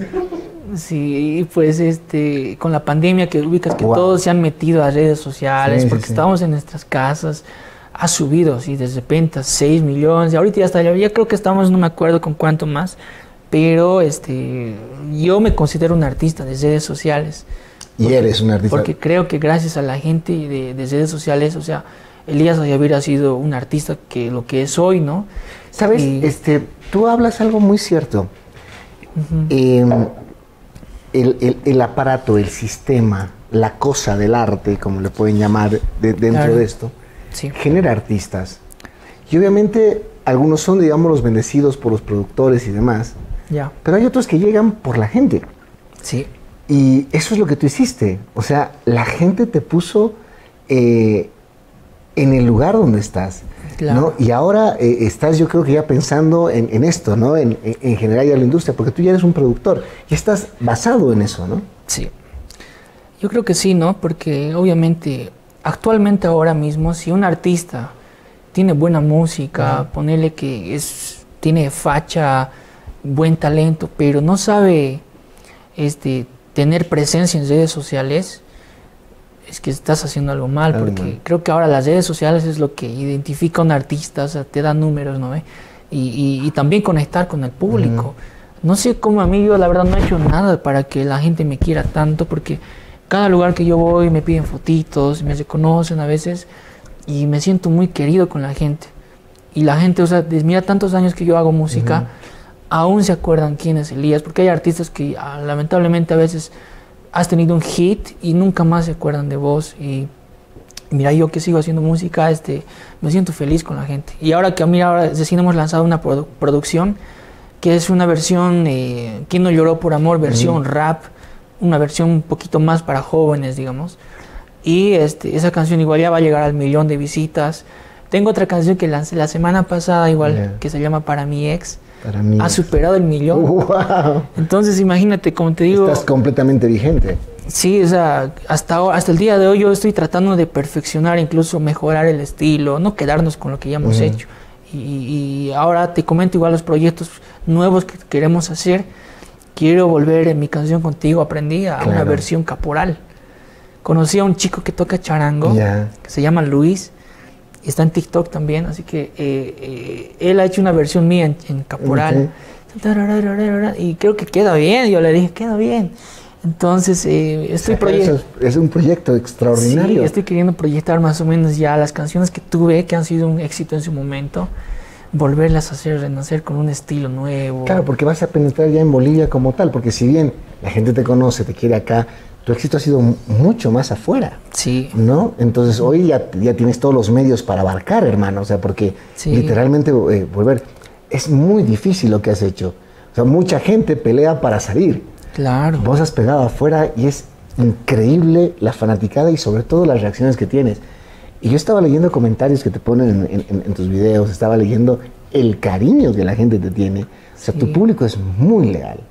Sí, toda la gente que me sigue, sí, siempre, siempre hay un poco de hate, ¿no? O sea, eso todo mundo, hermano. Y, pero mayormente, o sea, la gente nos ha querido mucho. A mí me ha querido mucho la gente y por eso yo donde voy, o sea, me siento feliz de que la gente esté ahí, digamos. Y, no sé, por eso a veces creo que, no sé si era mi música o el estilo, pero este, yo creo que soy de la gente. O sea, soy un artista que la gente lo ha puesto ahí donde está. Y me siento muy feliz de eso también. tengo que preguntarte me has contado tu carrera, me has contado esta parte que, suena muy bonito. este, ha habido partes complicadas seguramente, ¿no? Situaciones y momentos difíciles. y, obviamente a veces cuando lo vives en grupo o lo vives en la universidad, tienes gente que te, que te apoya, ¿no? Claro. Pero ese trabajo podría haber sido muy solo, o sea, muy, muy, muy, eh, muy de ti. Y a veces lo pasas así, tal cual, ¿no? Eh, ¿Tienes algo que de, alguna anécdota de eso? Mira, yo te, te voy a ser sincero, aquí en Bolivia eh, no me tratan como me tratan en Perú, por decirte. Porque cada que yo voy a Perú, la gente me ve, por decirlo así, como un maluma.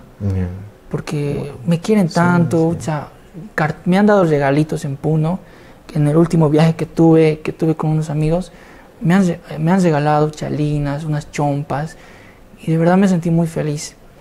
Y, obviamente eh, aquí en Bolivia, por ejemplo, me quieren también las personas, pero eh, cada que subo un video, por ejemplo, hay hombres que, que me tiran mucho hate. Yo jamás he respondido así de mala manera el hate y todo, pero este, algún momento me ha pasado que igual me han invitado a eventos donde se me han hecho sentir mal. Este, una vez me peleé con una persona en un, en un, evento. ¿Cómo? ¿Cómo? ¿Qué pasó? Es que era un evento en donde, en donde yo estaba cantando todo bien, digamos, y las chicas estaban ahí cantando conmigo y todo. Y un chico, es que el escenario era así muy cerca del público, o sea, no había un guardaespaldas, o sea, eran discotecas. y, y, el chico viene y, me ha golpeado, pues, y yo es de accionar. Sí, yo desde accionar, ¿por qué me ha pegado? Pero en el momento, o sea, alguien te pega y... No, no, sí. Y yo me he emputado, pues, y igual le he devuelto. Y, pero él, o sea, ha venido más con más hombres y todo, entonces yo dije, ¿por qué no habrá hecho eso? Y de ahí nos hemos enterado que ese chico me odiaba. En el pueblo dice que siempre hablaba mal de mí y no, todo, ¿no? puedo creerlo. Pero eh, he tenido un poquito así de eso. Y ahora, ¿en qué sentido me he sentido un poquito discriminado a veces con mi misma gente? que a veces este, en Sucre, igual en varios lugares que he ido, como que me ven así como un artista trucho. Eh, a veces saco versiones también, como te digo, de canciones bonitas de cumbia. y, como que no valoran, creo, lo que. Y por eso te digo, aquí en Bolivia me falta hacer reconocimiento presencial, así como que me vean y digan, ese es Elías. Entonces yo estoy trabajando en eso. Y, yo siempre igual, si, es, si este ve, Bonnie Lobby o algún otro artista grande, me gustaría estar en el medio de ellos también, porque he visto que a ellos, por ejemplo, los invitan a los premios Billboard ahora que ha salido, y lamentablemente a mí nunca me han tomado en cuenta. Y, no lo digo porque, porque quiero que me tomen, sino tal vez no les nace, no sé. Me invitaron a un evento, no voy a decir el nombre, pero fue en Santa Cruz. Yo gané un concurso de, era un concurso de, artistas. El mejor artista votado por la gente va a cantar en el concierto de J Balvin como, como telonero. Y yo me metí mi video ahí.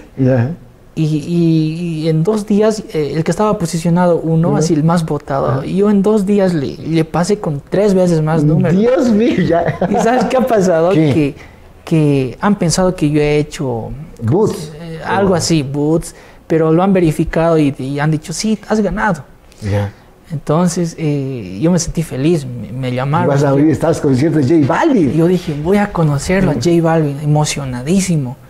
Entonces, eh, una vez que me dicen, ven a Santa Cruz, vas a estar con él, eh, es un show muy bonito, trae tus, tus, mejores canciones. Entonces yo fui emocionado a Santa Cruz.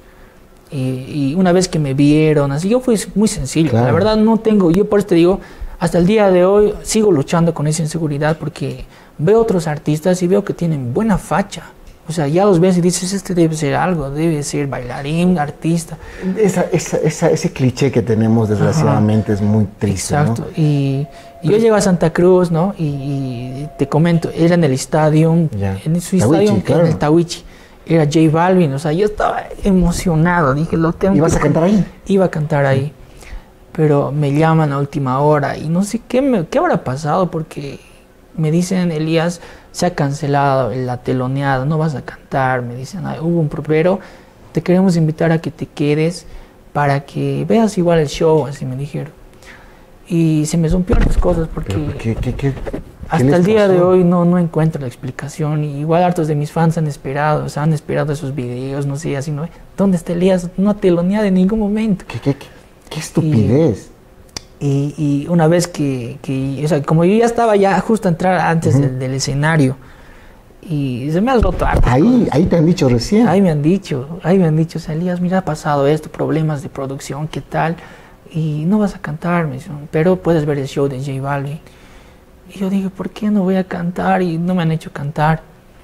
Y yo me bajé de ahí, de atrásito del escenario, ¿no? Un poquito, y lamentablemente fui solo también. O sea, creo que me han visto como un artista que no tiene nada. Ajá. Y, y yo los entiendo, porque no los tengo rencor ¿no? a los organizadores, pero, pero ¿por qué no me toman en cuenta? Mira, ni siquiera me han hecho una nota, entrevistas, nada, o sea, y, y me he sentido mal, muy mal, y dije, voy a hacer música, pero ya no me importa si Bolivia me quiere o no, digamos. Entonces eh, yo seguía haciendo música y ahí me he dado cuenta, entrando a las estadísticas de YouTube, que mis vistas eran pues de afuera. O sea, era un artista viral de redes sociales, pero era de afuera. O sea, era como yo un artista en Bolivia ocultadito, pero afuera pues Afuera yo es un era... monstruo. Ajá. Eres un monstruo. Sí, entonces, ese era mi problema, digamos. Me falta hacer aquí en Bolivia más cosas, o sea, o, o hago videoclips en, en el salar, así, o sea, que- Entiendo, o sea, te- te estás intentando pensar Que por mi- qué, claro. yo estaba queriendo que mi gente me quiera, Me quiera, ¿entiendes? claro. Y, y- porque también eso tiene que darse así orgánicamente. Yo no quería, hasta el día de hoy te puedo decir con mucho orgullo que casi nunca he pagado publicidad Ajá. en Facebook para que escucharan mis canciones, o sea, para que mis canciones sean sonadas. Pero ojo, tus canciones están en Amazon, están en Spotify, están en, Sí. en, Apple, en, en- en- la aplicación de, de Apple, están en todos lados tus canciones. O sea, ya te, Exacto. ya te manejan como, o sea, ya, ya lograste manejarte como, Sí, como sí, artista. exacto. ¿Hace cuánto ya estás así?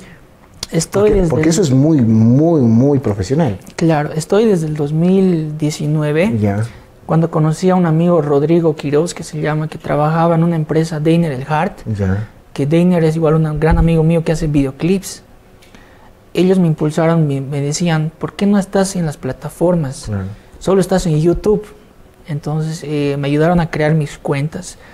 Y yo ahí es donde ya igual este, desperté y, y más bien, o sea, conocí a gente que, que creo que era la adecuada porque nunca se aprovecharon de mí esas personas. Entonces yo manejaba mis cuentas y igual monetizaba. En todas las plataformas estaba mi música y ya yo generaba igual de eso. Entonces, eh, desde ahí que fue que, y cuando incluso se hizo viral TikTok, mis oyentes están subiendo más rápido ahora. Sí.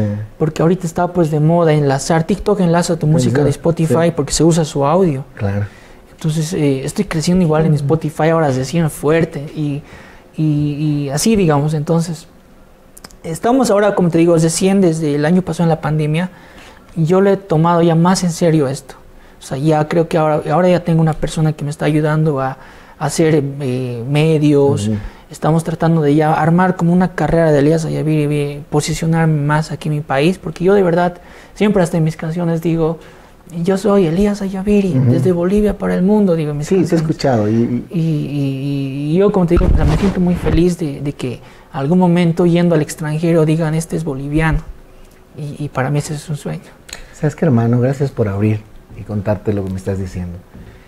Sí, es que es algo bonito porque cuando yo fui a Brasil, o sea, conocí a, a unas personas allá bolivianas y me dijeron que trabajaban muy fuerte, o sea, trabajaban todas las horas de- del mundo y tocamos en un local, era un, bra- era un bar brasilero. Yo llegué al lugar y, y, ¿sabes? Llegando a Brasil vi puro, pura gente, eh, o sea, mm, brasileras. O Eh, sea, claro, entiendo. Raro ver a, a- a- a- que veía así tipo boliviano, digamos. Pero llegamos a un barrio, no me acuerdo el barrio, Cantuta creo que se llama barrio, no me así. Ya. Y, y comí comida boliviana, nos atendieron muy bien. Y fuimos con los chicos de este grupo de cumbia de Cochabamba, no me acuerdo el nombre. Pero era un grupo igual en ese momento que estaba sonando. Ellos tocaron primero. Y, y era conocido aquí en Bolivia. Tenían una canción, no me acuerdo el nombre del grupo pero poca gente estaba así esperando, creo, a ellos, porque nos anunciaron a los dos. Y yo entré y todos bullas, o sea, se hizo, se hizo la bulla ahí, la gente y todo, y, y me emocioné harto, Claro. porque dije, fuera de Bolivia, o sea, ¿cómo, cómo te quieren mucho? Y por eso también yo, o sea, me siento muy feliz de decir, siempre lo digo, o sea, desde Bolivia para el mundo, porque yo quiero que al menos Bolivia, o sea, sea un país donde dejemos en alto, ¿no? Este nombre de Bolivia. Y, volviendo de Brasil, y yo siempre por eso tuve el sueño de seguir haciendo más música, tuve esas, metas y hasta ahora, hasta el día de hoy, hermano, o sea, quiero seguir haciendo lo que más me gusta y obviamente eh, haciendo música que la gente pues igual puede identificarse, ¿no? Y ese es el sueño, o sea, ese es el propósito, o lograr más cosas, que tal Dios quiera que para el año, o sea, me vaya mucho mejor, no sabemos, pero yo, o sea, voy a seguir luchando, esa es la idea. ¿Sabes qué, mi hermano? primero, primero que nada, mi admiración en todos los sentidos. ¿Por qué? Porque tu éxito, no, el talento está, Sí, la capacidad está, pero tu éxito tiene un nombre. ¿Y sabes qué se llama? Corazón. Si alguna vez te preguntas por qué la gente te hizo eso, te llevó ahí arriba, porque eso es lo hermoso de tu éxito. ¿sí? No fue un éxito construido, ¿ya? no fue un éxito elaborado, no fue un éxito este, allá así eh, armado, sino la gente te llevó y te tiene donde, donde estás. Y lo hizo por tu corazón. claro. Es, es eso, porque salió de tu corazón. Y mientras sigas así, dijo el cielo es el límite. Y la verdad, te lo mereces. Ahora, voy a hacer algo, al volver la pausa, por favor, porque quiero hacerle un, un favor a mi amigo Bonnie Lobby. ¿Tú lo conoces?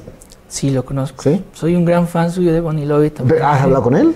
Hasta el día de hoy eh, no he hablado así personalmente, Ajá. pero alguna vez eh, le he escrito, digamos. Ajá. Pero obviamente debe ser alguien ocupado, ¿no? Y, y- no, no, se podía, no se podía hacer algo, nada, digamos. Pero soy muy fan de él. Soy muy fan de Bonnie Lobby. Y de varios ¿Le- artistas. ¿Le, le harías el favor a mi amigo de hacer un, un feed con él? Yo, mira, no sería un favor, más bien sería para mí No, una... Tienes 6 millones, hermano, 2 millones. El favor es mutuo. Yo creo que sí, no, sería un agrado, sería un agrado colaborar. ¿Una pausa? Claro que sí. Pausita y volvemos. Continuamos con más en el Q Show, señores. Eh, Elías Ayaviri con nosotros. Increíble. Gracias a toda la gente, gracias. Eh, Elías, la verdad, eh, ya me han pasado. Y bueno, qué complicado. Eh, había el doble de, de papelitos, la verdad. Porque producción dijo, vamos a sacar, porque es lo que normalmente hacemos con los artistas, no los videos que tengan este, la mayor cantidad de reproducciones. Entonces a veces colocamos que tengan 50 mil, 100 mil reproducciones. En tu caso, el límite fue millón y medio. Ya. Y con millón y medio había el doble de, papeles acá, así que es impresionante lo que haces. Y, y sigue así, hermano, con, con esa sencillez y sobre todo con ese corazón que te digo que, que te va a llevar lejos y vas a hacer cosas hermosas. Desde ya tómanos a nosotros en cuenta porque queremos hacer cosas lindísimas contigo.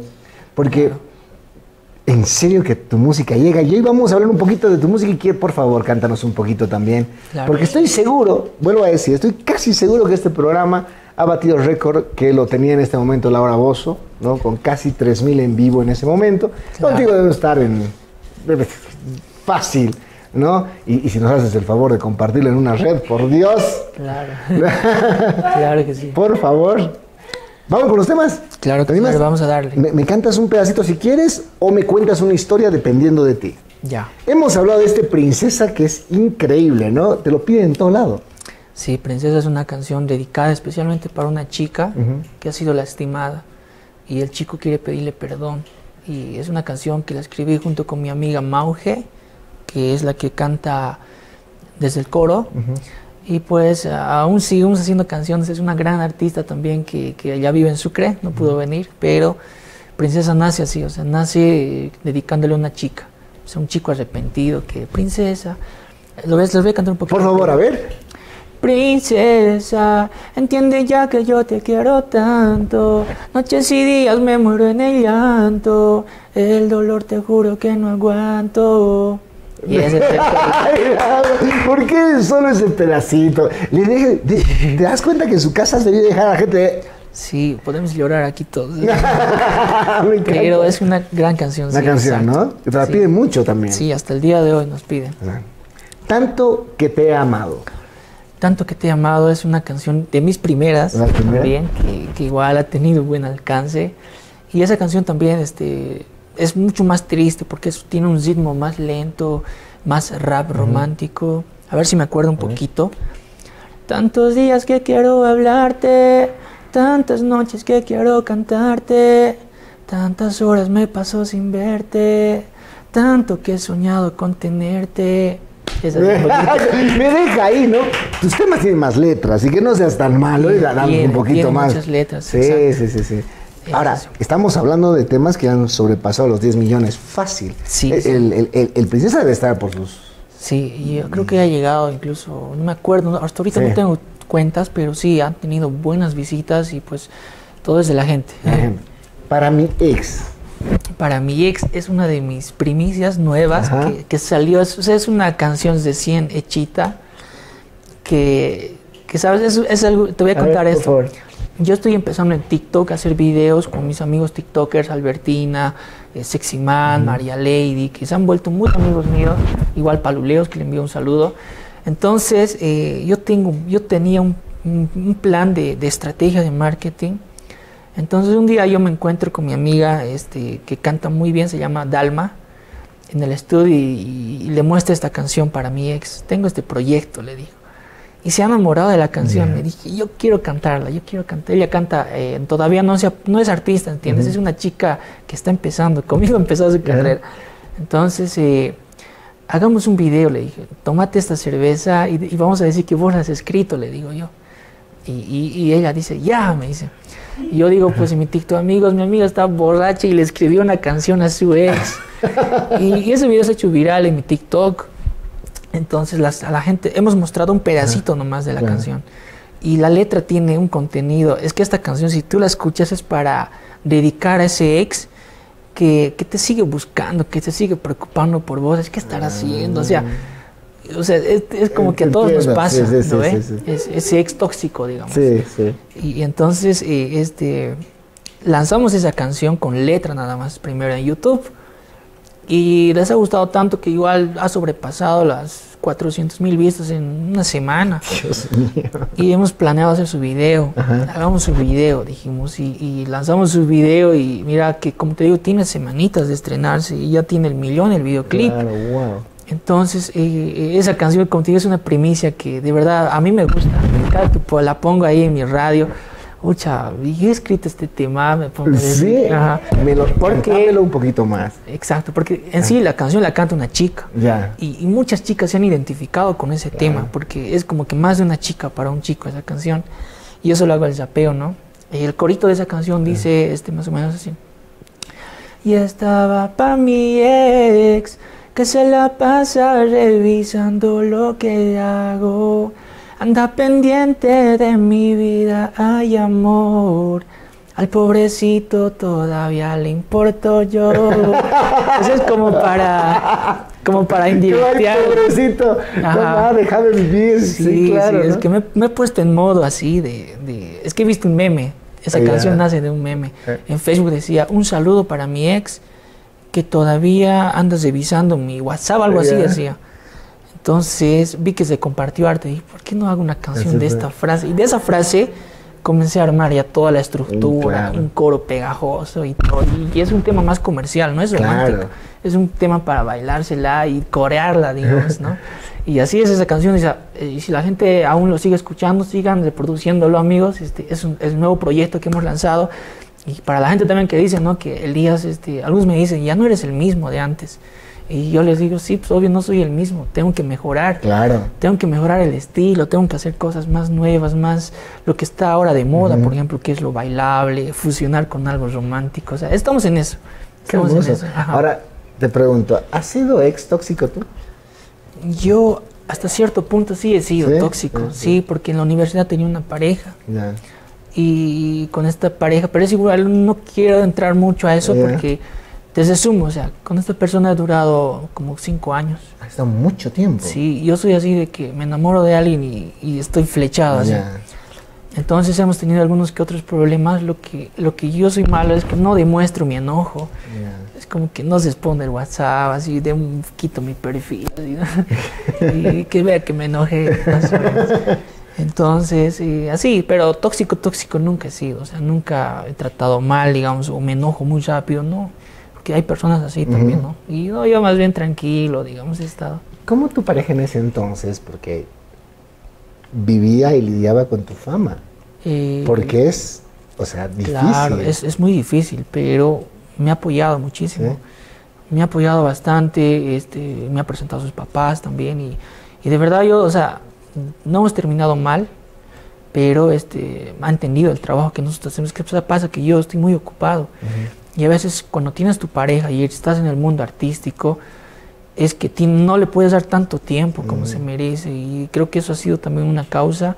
Y hemos peleado ¿no? algunas veces y, y luego al final este, yo tomamos la decisión, digamos, de, de seguir nuestras vidas y obviamente la quiero muchísimo, o sea, es una persona increíble y por si yo con ninguna de mis ex ni nada he terminado mal, mal, mal. O sea, creo que ha sido así de que hablemos y ya así, ¿no? Sea, terminar bien las cosas y así.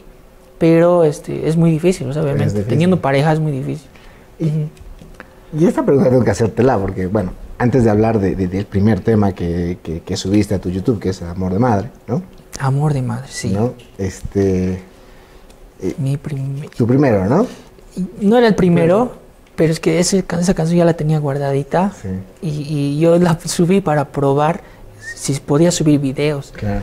Porque le faltaba producción, o sea, muchas cosas le faltaba a esa canción y dije, pero probaremos. Y, y lo he dejado así, o sea, lo he dejado para recordar también cómo empecé, porque el video, lo ¿sabes cómo lo grabé? Lo grabé con un celular, de esos de de esos Nokias que ya salieron con cámaras, Sí, creo. sí. Y estaba ahí emigrada con mis chancletas, cantando, así.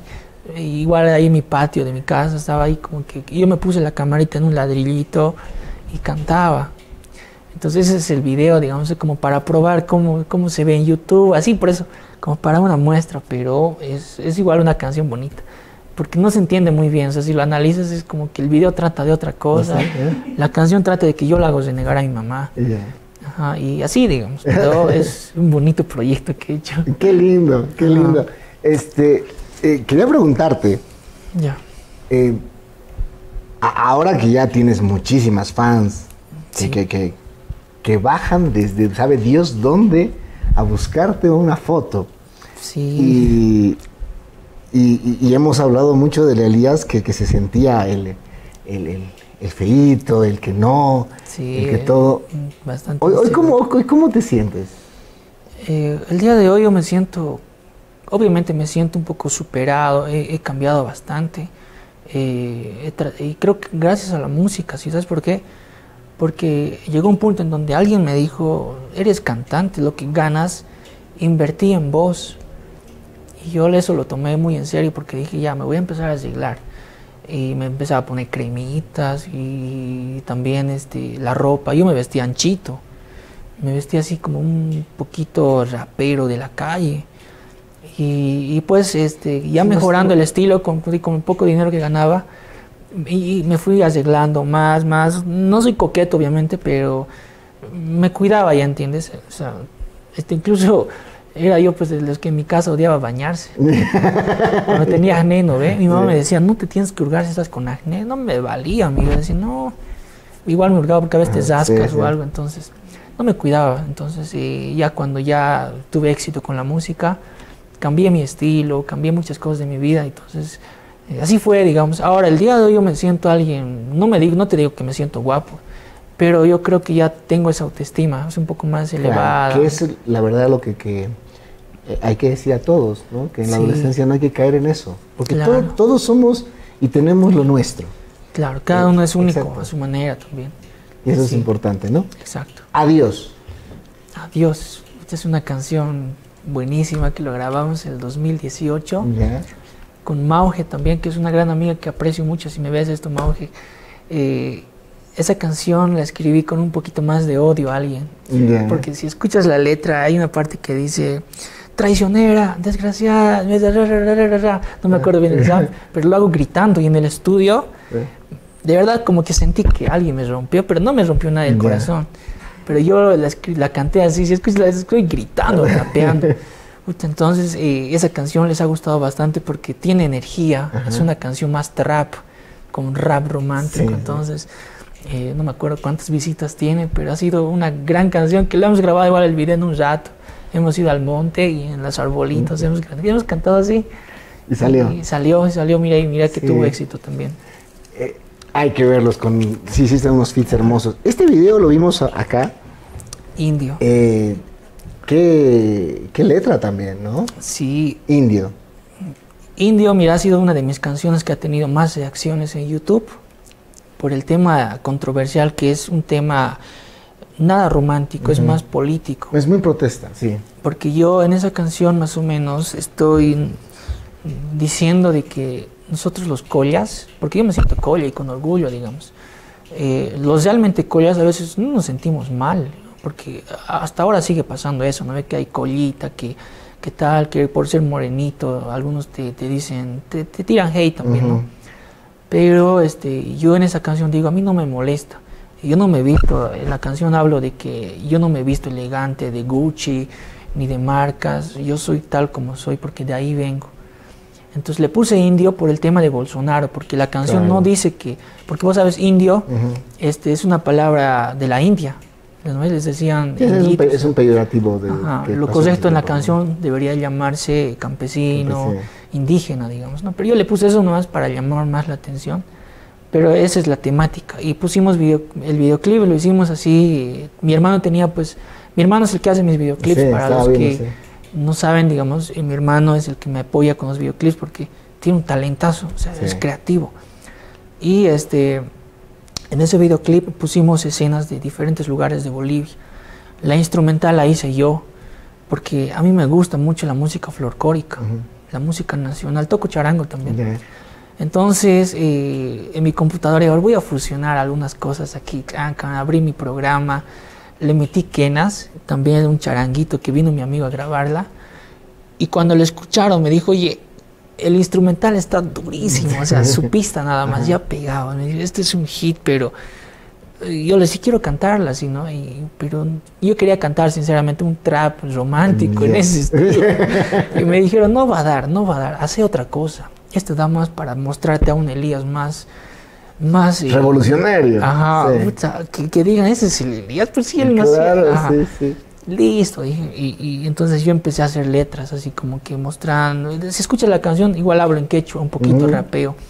Entonces, este, ahí digo, pues, Imainaya Kasyanki, igual es Yacho Manacho, Putis Cacho Kasyanki, que si estás triste o no. Esa, hablo diferentes frases en quechua, también porque yo hablo quechua. Entonces, en esa canción quería mostrarme como tal, digamos, como un Elías, así que no se vergüenza de ser indígena. Porque vos sabes, igual en el medio artístico a veces te discriminan por eso. Totalmente, es Y- y desgraciadamente eso, ajá. Entonces, no, yo, yo me siento, yo no, yo no me siento mal. Pero esa canción ha tenido reacciones así de diferentes youtubers que igual escuchando la canción han dicho, wow, deberíamos tener una canción más igual, o sea, debería ser ese estilo, así. Pero yo lo he hecho así como te digo, más para, para mí, no tanto para comercializar, porque comercialmente no es una canción comercial, o sea, Claro, es una pero, canción pero para... pero igual está teniendo millones de reproducciones. Sí, ¿no? es una canción muy bonita que, que me ha gustado hacer el proyecto, de verdad. Y la vas a can- y cantar en un unplug, ¿no? Y no, Oye, eso sería súper. no, y ver vamos. si se Ah. Eres tú.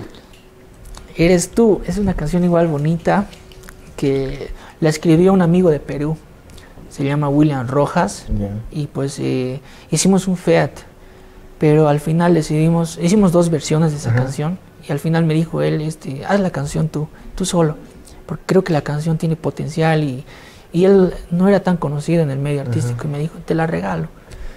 Y yo la canté completa y pues igual les ha gustado a mis fanáticos. Le hicimos un videoclip. Un videoclip igual ahí en el monte, con una niña, un peluche, así, bien interesante el video. Pero les ha gustado igual a, a bastante a la gente. Tiene un estilo igual romántico, más urbano. ¿Podemos cantarlo un poquito? A ver, el, el inicio más o menos dice así. Y eres tú toda mi inspiración, la única razón que lleva esta canción, esa, esa pequeña sensación. Algo por ahí va, Ah, no me ya, acuerdo bien. claro, no te acuerdas. Tal- es que compones mucho, ¿no? Son hartas canciones. compones Ajá. mucho, es increíble. Y Y, como compositor. Tengo hartas canciones Sí. y sabes, a veces para los ensayos de, de los shows, por ejemplo, Ajá. yo ya llevo preparado qué temas voy a cantar y solo las ensayo esa. Y porque como te digo, es hartas canciones y, y- y a mí me impresiona, por ejemplo, Daddy Yankee también que tiene semejante trayectoria. Y a veces te piden que cantes, digamos, algún tema en específico y no te acuerdas. No te acuerdas, claro. Pucha, ¿Y cómo era? Sí te acuerdas la melodía, pero Sí. la letra no, digamos. Tienes que llevarte el librito. pues. Exacto, claro. exacto. Claro, sí. Le, le mando un abrazo a Fernando Delgadillo. Estábamos en México, un trovador, Yeah. este, que dijo, a ver, y sacaba su libro. ¿no? Claro. Algún día lo voy a transcribir porque él tenía, o sea, lo tenía en, en Ah, compuesto claro. en un libro. Qué bien. Me duele amarte. Me duele amarte, es mi primera canción que, que con mucho orgullo de verdad me siento feliz. Y, y ese grupo que te hablé de Estados Unidos Ajá. me compró esta canción.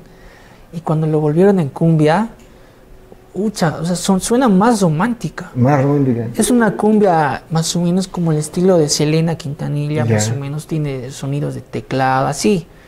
Y tiene en YouTube 10 millones en, en su canal de En ese grupo, canal. en versión cumbia. Y, y de verdad qué felicidad, ¿no? Me, Porque- me- me dejaste, lo vamos a cantar, obviamente. A ver. A ver, pero quiero escuchar esa versión que me duele amarte, A ver, ¿no? busca. AXCC se llama el grupo. ¿Cómo, cómo? IC. A ver, yo te lo voy a A ver, escribir. a ver. Es así. IXCC me duele amarte. Ahí está. Y aquí está. Este, Este es. 12 millones, mira. 12 millones, un tema compuesto. A ver, esa ya la, yo la compuse. esa la compuso y la cantaron. Tu primera, eh, el impulso de todo. A ver, Y son de Estados Unidos esos de muchachos. Estados Unidos. 12 millones. ¿Ahí está bien?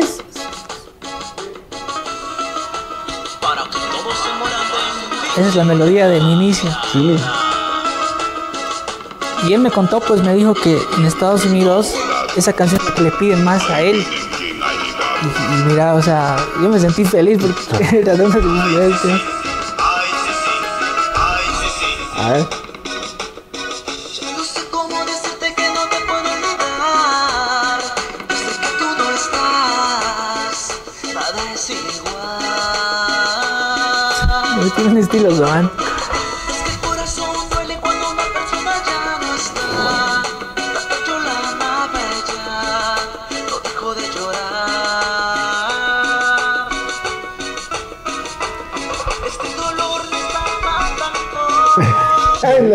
Cumbia. Interesante, ajá. Ahora, eh, y, y- y la tuya, en Me Duele Amarte, ¿cuántos tiene?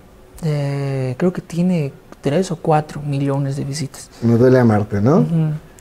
Ahora, eh, obviamente porque te la, se la sacaron, hemos contado, ¿no? Lo que, Sí, sí, sí. Lo, lo- lo que ha pasado con el tema. Eh, no, esa no me la sacaron. La de contigo es La la, que Contigo la la- Porque claro. ahorita la de contigo aprendí está en otros canales Sí. con mi- Mi- millones de millones visitas. de visitas. De mi- 3.1. Rap, tú me dejaste de querer.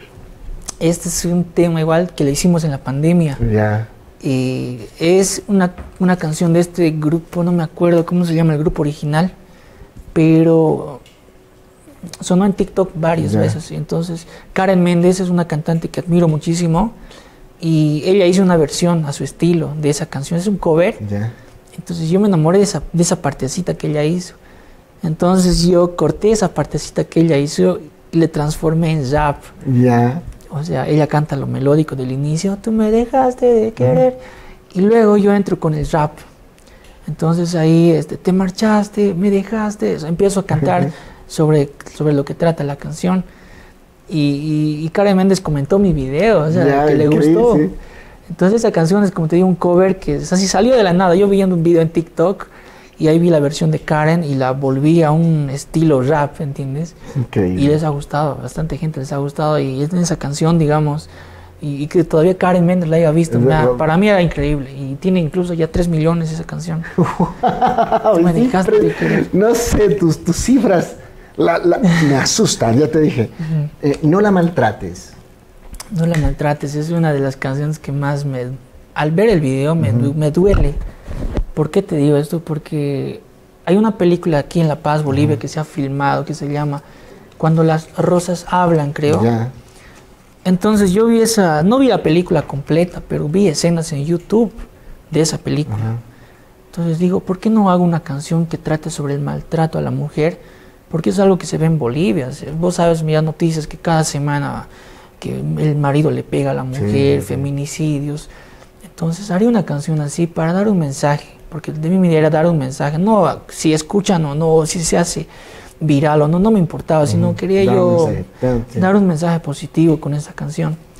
Entonces eh, grabo la canción, le muestro igual a mi hermano y me dice, "Uy, esta canción creo que va a dar pena, me dice. ¿Por qué? Le digo, porque hablas de que cuentas una historia, me dice. Sí, es una historia. Y, y, a ver, lanzala. Él, él me decía que no la lanzara porque como que no va con lo que haces, no Ya. hagas esto, o sea, no te muestres a Elías y más bueno, me decía, porque o sea, a nosotros no nos ha pasado esto, me decía él. Ujú. No a nosotros, pero a otras familias Sí, les ha pasado. Y me ayudó a grabar el video. Y, y en el video se veía vacío, porque solo cantaba yo, en una tumba incluso ahí cantando. Y para los que han visto ese videoclip, este, yo dije, pongamos escenas de esa película que se hizo en La Paz, porque esa película tiene escenas muy, o sea, muy realistas, se veía tan real, no me acuerdo el nombre de la señora que actúa en ese video, pero se veía muy real puse eso y, y ya tenía sentido el video. Pucha, no, este video es, es brutal. Entonces lanzamos esa canción con ese video. No pedí permiso por si acaso. Y me hablaron pues, los actores. Claro. Me hablaron los actores, me dijeron, has usado nuestro, nuestra Sí. película. Y se está viendo por primera vez. No me es un chiste, es un Y, chiste. y de ahí, y de ahí este, yo pensé que me iban a reñir, puta, me van a pedir me van a demandar o algo así.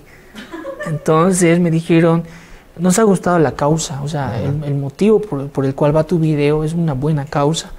Y seguíla, así me seguí adelante, solo mencionando así. Claro. Y yo les mencioné, obviamente. En Facebook se hizo más viral porque yo la puse en YouTube, tiene algo de un millón. Pero en Facebook tuvo más todavía porque muchas comentaban. También me ha pasado esto. Algunos contaban su historia en un comentario largo. Yo leía sus historias y me di cuenta que esto es pues, un tema muy serio. Sí. Y, y- y la canción creo que transmite mucho porque, como te digo, yo vengo de una familia cristiana, mi familia es evangélica, y, y- y yo en, el- en la canción al final digo de que, de que busquemos a Dios, solo Dios puede arreglar familias destruidas. Y en esa parte del video también es donde hay una parte donde la señora está llorando como que muerta y mostrándole a su marido, su marido todo arrepentido. Y cada que veo ese video te cuento que me llega. o Te sea, llega. yo mismo sé como que veo y digo, "Cha, he hecho yo esto realmente. O sea, si a mí me causa tristeza, imagínate a otros Claro, así. totalmente. Entonces- y los que lo hayan vivido, ¿no? Ajá, y, y- y te cuento que en esos meses me han hablado los de La Razón para hacer una entrevista. Queremos que cuentes sobre esta canción, cómo lo has hecho, porque eh, hay una comunidad de mujeres que, que me han dicho que estaban haciendo unas marchas y estaban poniendo mi canción, porque estaba la canción No la maltratas y su corito. Entonces, de eso me han entrevistado y en ATV igual me han llevado pues a un lugar, hogares de niños. Y en ese entonces yo también estaba muy, muy... Y seguía solo también. Eh, no me acuerdo el nombre del programa, pero era Mostrando Vidas, creo, de ATV, un programa en la noche daba. Ujú. Y me han hecho cantar para unas niñas huérfanas. Wow. Y igual ahí me he Qué sentido muy, muy sentimental porque todas esas niñas no tenían papás. Y hem- hemos ido a ese hogar y, y esa noche yo tenía concierto. Y yo les he dicho, vengan toditas, va a estar gratis para ustedes. Y han Qué venido. O sea, era bonita esa canción, por eso me ha, me ha abierto algunas puertas también. Pero este, se ha logrado el objetivo que era concientizar un poquito, ¿no? Y por lo menos eh, vi- visibilizar algo que es muy, pero muy Claro. feo y- en nuestro país y, Sí. en, y en toda América también, ¿no? Sí, y, y no la maltrates para todos mis seguidores, o sea, si es que aún no la han escuchado, vayan a escuchar, es una canción que lo hice con mucho cariño, ¿no? Para, para tal vez esas personas que han sido maltratadas, mujeres, no solo mujeres, hombres también. Entonces esa- era la idea del video. Ujú. Qué lindo. Qué, qué- qué historia, o sea, muy, muy fuerte. Y sabes, este, no, no, nunca cambies, sí hay esas corazonadas. Yo te dije, Claro. todo lo que haces de corazón, hermano, y de ahí sale. Fui yo. Exacto. Fui yo es una canción reggaetón Ujú. donde donde también este es una canción triste. Esa canción les gustó más en Perú, te En comento, Perú. porque cuando yo fui a Perú, eh, como te digo, ya tenía mi repertorio, ¿no? Sí. Y me dijeron al público, fui yo, fui yo, ya se las cantaré, digamos. Y, y se las canté y en varios eventos me pedían fui, Fui yo. Y es una canción igual bonita, en reggaetón también. Entonces, era solo canción. Y cuando vi que en Perú les ha gustado, yo dije, grabaré su videoclip. Y lo grabábamos así en una noche, también su video, así.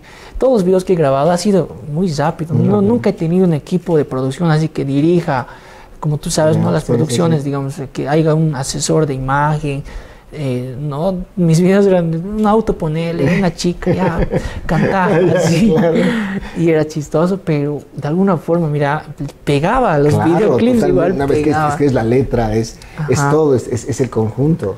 Sí, entonces así fue un poquito de fui yo Y y, podemos cantar un poco para toda la gente que en Perú nos está viendo en este momento, la fanaticada de Elías. fui yo que, a ver, voy a buscar esa sí. Dale, dale. A ver, sí. Fui yo. Sí, amigos, es que de verdad es, son muchas canciones. Muchas. Y como te digo, Sí, si sí, yo haría un concierto así con todo Todas, mi repertorio, no terminaría ni en una hora. porque, Claro. Como te digo, son casi setenta y tantas canciones que he subido a YouTube y toditas tienen millones. Pero de esas millonadas es que hay canciones que más resaltan. Por eso también esas me sé de memoria. sí, de claro. verdad. Y estas de fui yo, por ejemplo, como a veces no he ido a Perú por ejemplo, un buen tiempo. Tiempo. Ya me he olvidado. Claro, pues. claro, entonces- A ver, voy a buscar. Qué increíble. ¿no? Yo también, sí. Este video tiene millones. Este tiene más millones, ¿no? Lo voy a decir porque estoy con Elías ahora, que seguro va a tener millones. Ah, aquí está, ya encontré. Ahí está. Fui yo, para toda la fanaticada de Fui yo, Claro en el sí. Perú espe- especialmente. A ver. Exacto. Fui yo quien te regalaba mi tiempo para verte y tomar el sol. Me esforzaba para impresionarte y llamar de tu atención. Tu mayor admirador y fan número uno era yo. La segunda parte dice, es que fui yo, aquel que hacía todo para que tú puedas sonreír. No me importaban mis problemas, solo quería que seas feliz. He tratado de hacer todo, pero creo que no lo conseguí. ¡Ah! Es un inicio. Y, y esa canción es más como despechándome yo. Claro, digamos. O sea, sí. Fui yo el que se esforzaba y, y no logré Fui yo, nada. no logré. digamos, ajá. Y- Mira vos, ¿dónde estás? Sí. Dejas mi corazón roto. Esta canción la grabé en la pandemia, en mi estudio, así encerrado. Y este es el primer videoclip. No es videoclip, pero obviamente tiene video. Que me grabé yo solo con mi cámara. Porque ah, lo vi como que voy a mostrarme como soy, digamos, sin Claro. edición, así. Entonces puse ahí mi cámara, puse la luz roja y, y empecé a cantar a cámara, digamos, tan, tan, tan, cantando. Y la subí así a YouTube. Ese es el primer video que yo tal vez me he producido, digamos.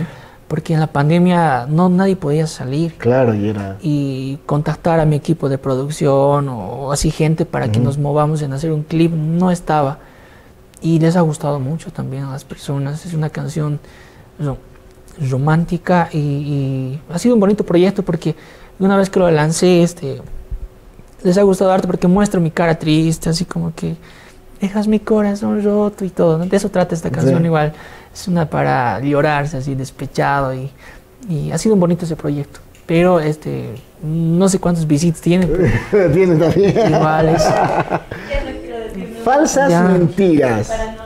Falsas mentiras.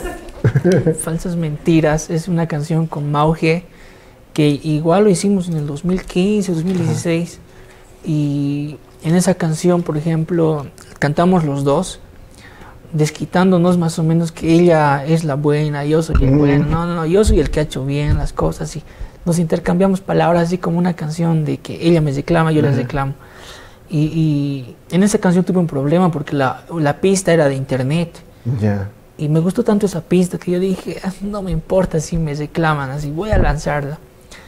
La lanzamos a YouTube y, y ha sido igual una canción que les ha gustado a varias personas porque tiene videoclip. Entonces, una vez que la lanzamos a YouTube, me sale un reclamo de que esta pista es de otro artista, Claro. digamos. Pero, este, no me importaba porque, como te digo, ya dije, llegó un punto en donde hay cosas, por ejemplo, que en YouTube tienes que hacer bien las cosas porque te pueden bajar hasta el canal. Y, y no, y aprendí también pues a, perfeccionar mis pistas, porque dije, voy a hacer yo pistas, voy a hacer pistas. Y así, digamos, pero Falsas Mentiras tiene una bonita historia, eh, la grabamos con Mauge, el videoclip fue en una casa también, así súper sencilla y salió muy bien. Me gustó ese Qué lindo. proyecto. Es de los que te piden también mucho, ¿no? Sí, me piden esa canción igual, Falsas Mentiras, en varios eventos y, y se lloran a veces, o sea, cantamos así cinco temas y, y siempre hay uno que está creo tomado, borrachito, digamos, y llora. Porque me han dicho que yo era pues el chico que eh, cuando muchos hoy en día estaban en las escuelas o en colegios ya, digamos, yo, era- yo era su, su artista y, y me escuchaban mis canciones, digamos, entonces es bonito, Es o sea, claro. es muy bonito. Yo la quería así, esa canción es un hit también, como Es- sí. contigo aprendí. Ajá. Es una canción muy bonita y te, como te comento, esa canción la escribí ya cuando terminé el colegio. Yo Ana, con esa canción marqué, como te digo, el, el ya mostrando mi rostro, Sí. haciendo Me videoclips. decías, ¿no? Ajá, y dije, voy a mostrar mi rostro y comenzó con esa canción. A ver, para la gente un poquito, No, un poquito. Yo la quería, es un hit. es un hitazo y creo que tiene 23 millones esa Ya, así que me la cantas o me la cantas, hermano. Claro que sí. A ver. Yo la conocí ahí, un 5 de abril. Todo empezó cuando ella se acercó y decidimos estar juntos. Pero por errores de la vida se terminó, se acabó. Si yo la quería, la decía que la amaba, pero a ella no le importaba. Me dolía y sufría como si nada pasara. Sé que no soy para ti y te dejo ser feliz así sin mí. Esa es la parte. Y pues yo la quería igual. Y sabes, hay otro, hay otro problema mío. Y, y eso quiero decirlo ahora también, este, para que todos mis fans saben muy bien y lo he recalcado. Yo no canto muy bien. ¿Por Esa qué? es una. Porque- Me gusta tu modestia, pero Claro. sí cantas bien. Y, O sea, y- y- tú tienes un estilo Ajá. y el estilo es muy bueno. Yo que te estoy escuchando en vivo en este momento, tienes un estilo, Claro. tienes una afinación y la verdad, lo importante de un artista no solamente es Claro. el hecho del denominado voz prodigiosa, Sí. sino es saber cantar, entender, generar estilos y ¿sabes qué es lo más importante? Claro. ¿Sabes qué? El transmitir. Y eso, Sí, ¿ya? sí, sí. tienes Claro. todo. Pero tú eres un productor y generas Produzco. obviamente algo, ¿no? Sí, sí, sí, soy productor también. Y pasa que yo como te diga, las personas cambiamos, son etapas. Tenía la voz muy delgada en ese tiempo. Amaba mi voz. A mis 18 años cambió ya mi voz. Cambió mi voz y, y, y, y, sabes, intentaba cantar a la nota original. Me costaba más. Ya. Porque dije, creo que es un proceso normal, creo que todos pasamos. Porque mi voz era de chica esos Ya. tiempos. Ya. Por eso digo, eh, cantaba facilito, era cantar y digamos, y creo que a medida que vas cantando también hay que cuidar mucho Sí. la voz. Había conciertos que quedaba afónico. Por ejemplo, ahorita que estoy hablando harto, igual ya siento que Sí. mi voz está afónica. Entonces eh, yo decía, ¿cómo hago? ¿Cómo hago? Digamos. Y, y pasé cursos de canto y yo sigo tratando de mejorar y siempre lo voy a decir, digamos. Hay cosas que me falta mejorar y estamos en ese camino, ¿no? De que si vamos a hacer música tenemos que hacerlo también demostrando que, que hay por lo menos talento y, creatividad y todo eso. Ajá. Y lo tienes, hermano. Claro, tienes. y gracias. Ah, bien. Vuelve. Vuelve es igual uno de mis primeros Sí. temas, muy bonita que, que su coro es donde más este se transmite, así es que el coro es raro, ¿sabes por qué? Porque el coro es largo, así como que vuelve y es largo, que ya no puedo más, si tú ya no estás, mi vida no es igual y tiene un estilo de reggaetón, Ya. así bien movido también y Y, y esa canción más bien este, me la piden a veces, Sí. pero igual, o sea, y te cuento que recién este año voy a volver a los escenarios. Es claro. Y tal vez por eso me estoy olvidando muchas canciones porque eh, no, no he ensayado un buen tiempo. Toda la pandemia he estado así, este, Entonces está componiendo. componiendo, subiendo más temas, Ya. entonces mi mente también pues, tiene que actualizar. Claro. y, y- y espero volver muy pronto a los escenarios, amigos, y, Y así seguir. claro, Está- seguirla. Y me encanta. Cuando el primer amor se va, ¿qué, qué, qué letra? Es una canción con historia. esta sí. Ver, sí. Es que esta canción la hice para mi ex. Para la que me contaste, la de cinco Sí, años. con la que duré cinco años Dios porque eh, ella fue mi primer amor así Claro. bien, bien amoroso. O sea, con la que sí, digamos, eh, peleábamos y me sentía mal, digamos. Entonces escribí esa canción para ella porque yo, o sea, ahí, ahí sentí de que no cualquier chica te hace sentir eso.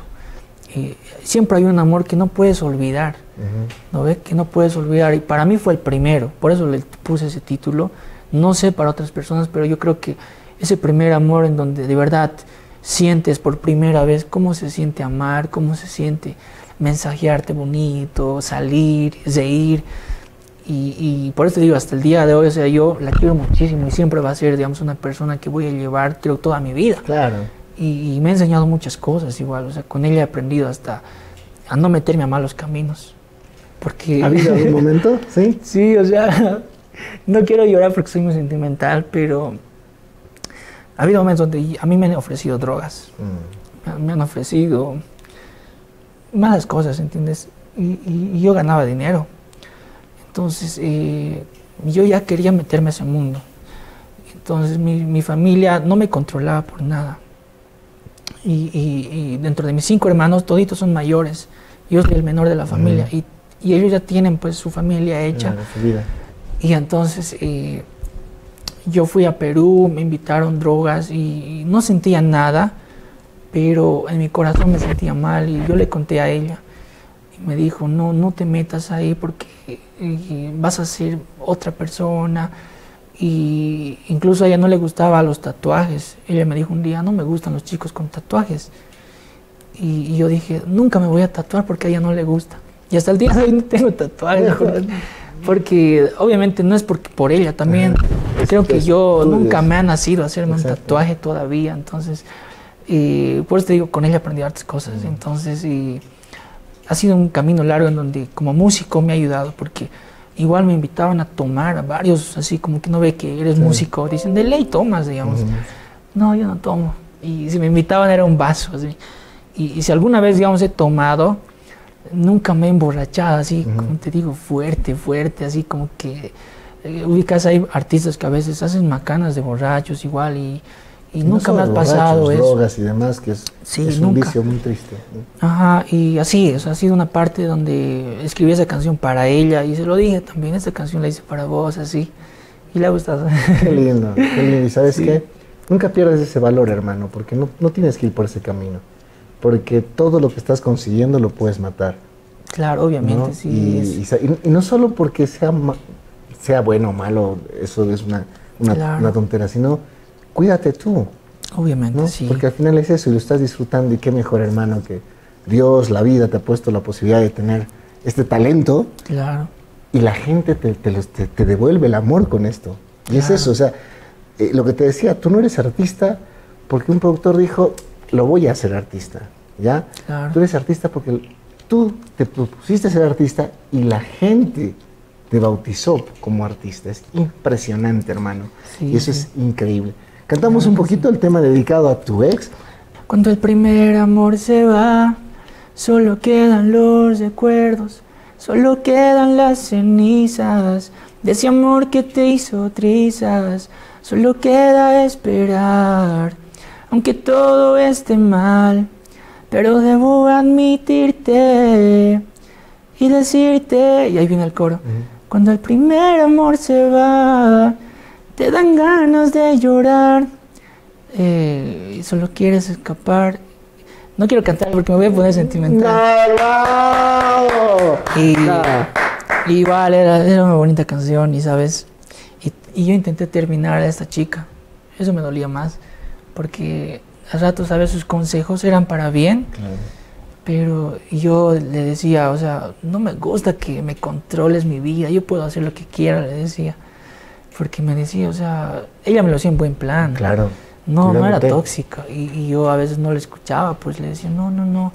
Pero he aprendido, o sea, porque imagínate que me hubiera tocado una novia que me incitara a bebidas o a fiestas, ponele. Claro. Y, y yo iba a ser un Elías ahorita diferente, o sea, más, eh, como decirte, no sé, no tienes por ahí un para fumar Claro. algo, te diría. Dios, ¿no? Y no, pues gracias a Dios no me ha gustado nada de los vicios, o sea, no, nunca me ha nacido.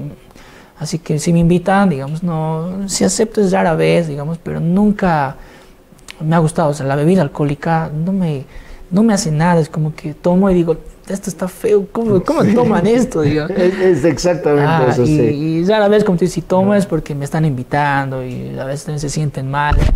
Emborracharse y todo, no. Claro, hermano. Sí. Y seguir por ese camino. Porque eso, de eso se trata y vas a ver lo lejos que vas a llegar. Claro, sí, y, sí, y sí. qué lindo, qué lindo. Gracias por contarnos esto. Claro. Solo. Solo es una canción para los solteros. Ah. Sí. Esta es una canción ya este, cuando yo me encontraba solito. Ajá.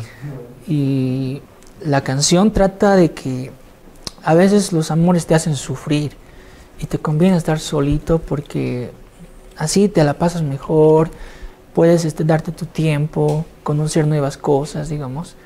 Y esta es una canción ya más movida. Quería Ya. ser, ya no quería ser el Elías romántico. Ujú. Quería mostrarme como un Elías ya más, este, que digan, "Puta, esta canción está para bailarla, digamos. Y le pusimos un estilo reggaetón urbano. Y igual su video trabajamos en Sucre, en un hotel. Y con una chica también ahí. Y ha sido igual una canción que les ha gustado a muchos. Esta sí me piden más en Bolivia. En Bolivia. Ah, mira, entonces. eh, en La Paz, aquí los 15 que he ido, o sea, cantamos solo y corean con nosotros. Eh. Ya estoy solo, yo vivo a mi modo, no necesito a nadie que quiera enamorarme. Y es así. Otra vez. Solo. Yo vivo a mi modo, no quiero más amores, solo me dan dolores. Así que vete ya y no vuelvas más que yo. Así estoy mejor. Wow. ¡Wow! ¡Qué lindo! eh, sí, es una canción igual que me, me gusta escuchar, a veces igual estoy así, ¿no? A veces escucho mis propias canciones y, y me gustan todavía, pero hay canciones ya que me aburren hasta a mí escucharlas. ¿Sí? Sí, es que tanto, tanto, ¿Tanto? a veces, ajá, Sí. y creo que no es que me aburre, sino es como que Claro. ya no pues, siento ya, ya. emoción. así. Exacto. Y no me digas que esta es esa. Uf, contigo aprendí. La de contigo aprendí, pues es, yo creo que es una canción que siempre va a ser este, algo muy especial Ajá. para mí porque con esa he empezado. Pues esa canción me ha abierto las puertas para que muchas personas me conozcan también, ¿no? Y sin esa canción, creo que Elías Ayaviri nunca se iba a dar cuenta porque Ujú. si yo como te digo la subí y, y como ya estaba en mis maquetas así guardadita y no la subía, digamos. Pero cuando la subí, este, me di cuenta el potencial tal vez este, que tenía esa canción y, y esta sí me pedí en todo lado. En todo lado. En todo lado, igual en TikTok y miles de videos que han hecho con esa canción y es una pues, de las canciones que digamos tú dices Elías Ayaviri, ah, el, aquí, el que canta contigo aprendí. Y dije eso. A ver, vamos a cantar un poquito. Esta, no, no, no. Esta sí la cantamos completa. ¿Puede ser? Mm. Y nos despedimos porque realmente, primero, gracias. Elías, hermano, muchísimas gracias por, Claro que sí. por estar a con toda la nosotros. gente igual, En serio, claro. es hermoso. No es la última vez, las puertas abiertas para lo que quieras. Nosotros felices y orgullosos de tener una, una persona que se ha hecho, se ha construido y lo más importante, conserva no solo raíces, sino entiende lo que, Claro. lo, lo- lo que es, ¿no? Gracias. Sí, más bien gracias a todas las personas que han visto esta entrevista, un poco de mi vida y pues este sigan escuchando lo nuevo, que seguimos con más proyectos como te digo y para despedirme contigo aprendí para Ahí todos estamos. ustedes. Contigo descubrí lo hermoso que es amar, contigo era feliz, yo quise ya cuidarte, contigo aprendí que el amor es real. Contigo pude ver que mis días sin ti no son iguales si no estabas junto a mí. Me haces tanta falta si no estás aquí. Y el corito dice. Te juro que te quiero y yo ya no puedo posar este recuerdo, es que yo te quiero. Te fuiste ya tan lejos, tú eras mi cielo. Tan solo quiero verte y estar contigo. Cuando yo estaba triste, tú fuiste mi abrigo. Me siento solo sin ti, yo estoy perdido.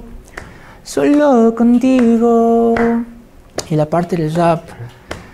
Quiero que sepas que sin ti no puedo, te juro que muero, no puedo olvidarte. Yo cada mañana despierto muy triste saber que no estás, me duele recordarte. Yo tanto te amaba y tú te alejabas, tan lindo recuerdo que tú me dejabas, los días pasaban y yo te aguantaba con tantas canciones que yo te cantaba. Fue duro sacarte de mi corazón con tanta tristeza, triste esta canción. Señoras y Sí, señores, gracias a todos. Ali Elías Agavirín con nosotros, increíble. Muchas gracias, mi hermano. Gracias, Genio. gracias. Y una Hemos- entrevista. Claro para- que sí hemos hablado tanto, mira, que para mí de verdad es una felicidad y pues este esperamos muy pronto, volver pronto también a tu programa. No solo vas a volver, tenemos que hacer muchas cosas, mi hermano. Claro que sí, hay ¿Está que bien? darle, hay que Las darle puertas abiertas, admirador. Y en serio es un orgullo, muy aparte que hayas visto el programa. Te agradezco muchísimo porque la verdad es que eh, eres muy jovencito para el éxito que tienes. Tienes una carrera brillante. Y sigue adelante, hermano. Gracias, hermano. Gracias. Gracias a toda la gente. Pausa y volvemos con más. Seguimos con más en el Q de Show, señores, y llegó realidad perdida. Bueno, yo sé que mucha gente lo espera porque son, bueno, relatos increíbles y lo más importante, mucha gente los espera y es, eh, me gusta mucho lo que ocasionas en la gente, lo que la gente pide. Los mensajes que llegan, un 50% de los inbox son justamente dándote eh, sugerencias y pidiéndote temas también.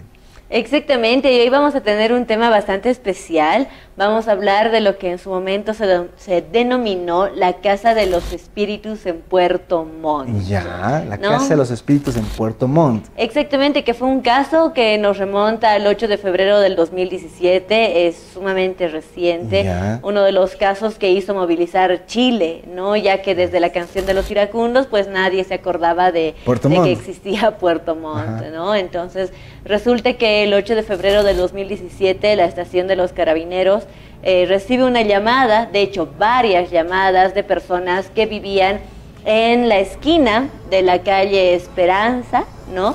En número 3322, diciendo que estaban sucediendo hechos paranormales que los tenían totalmente aterrados.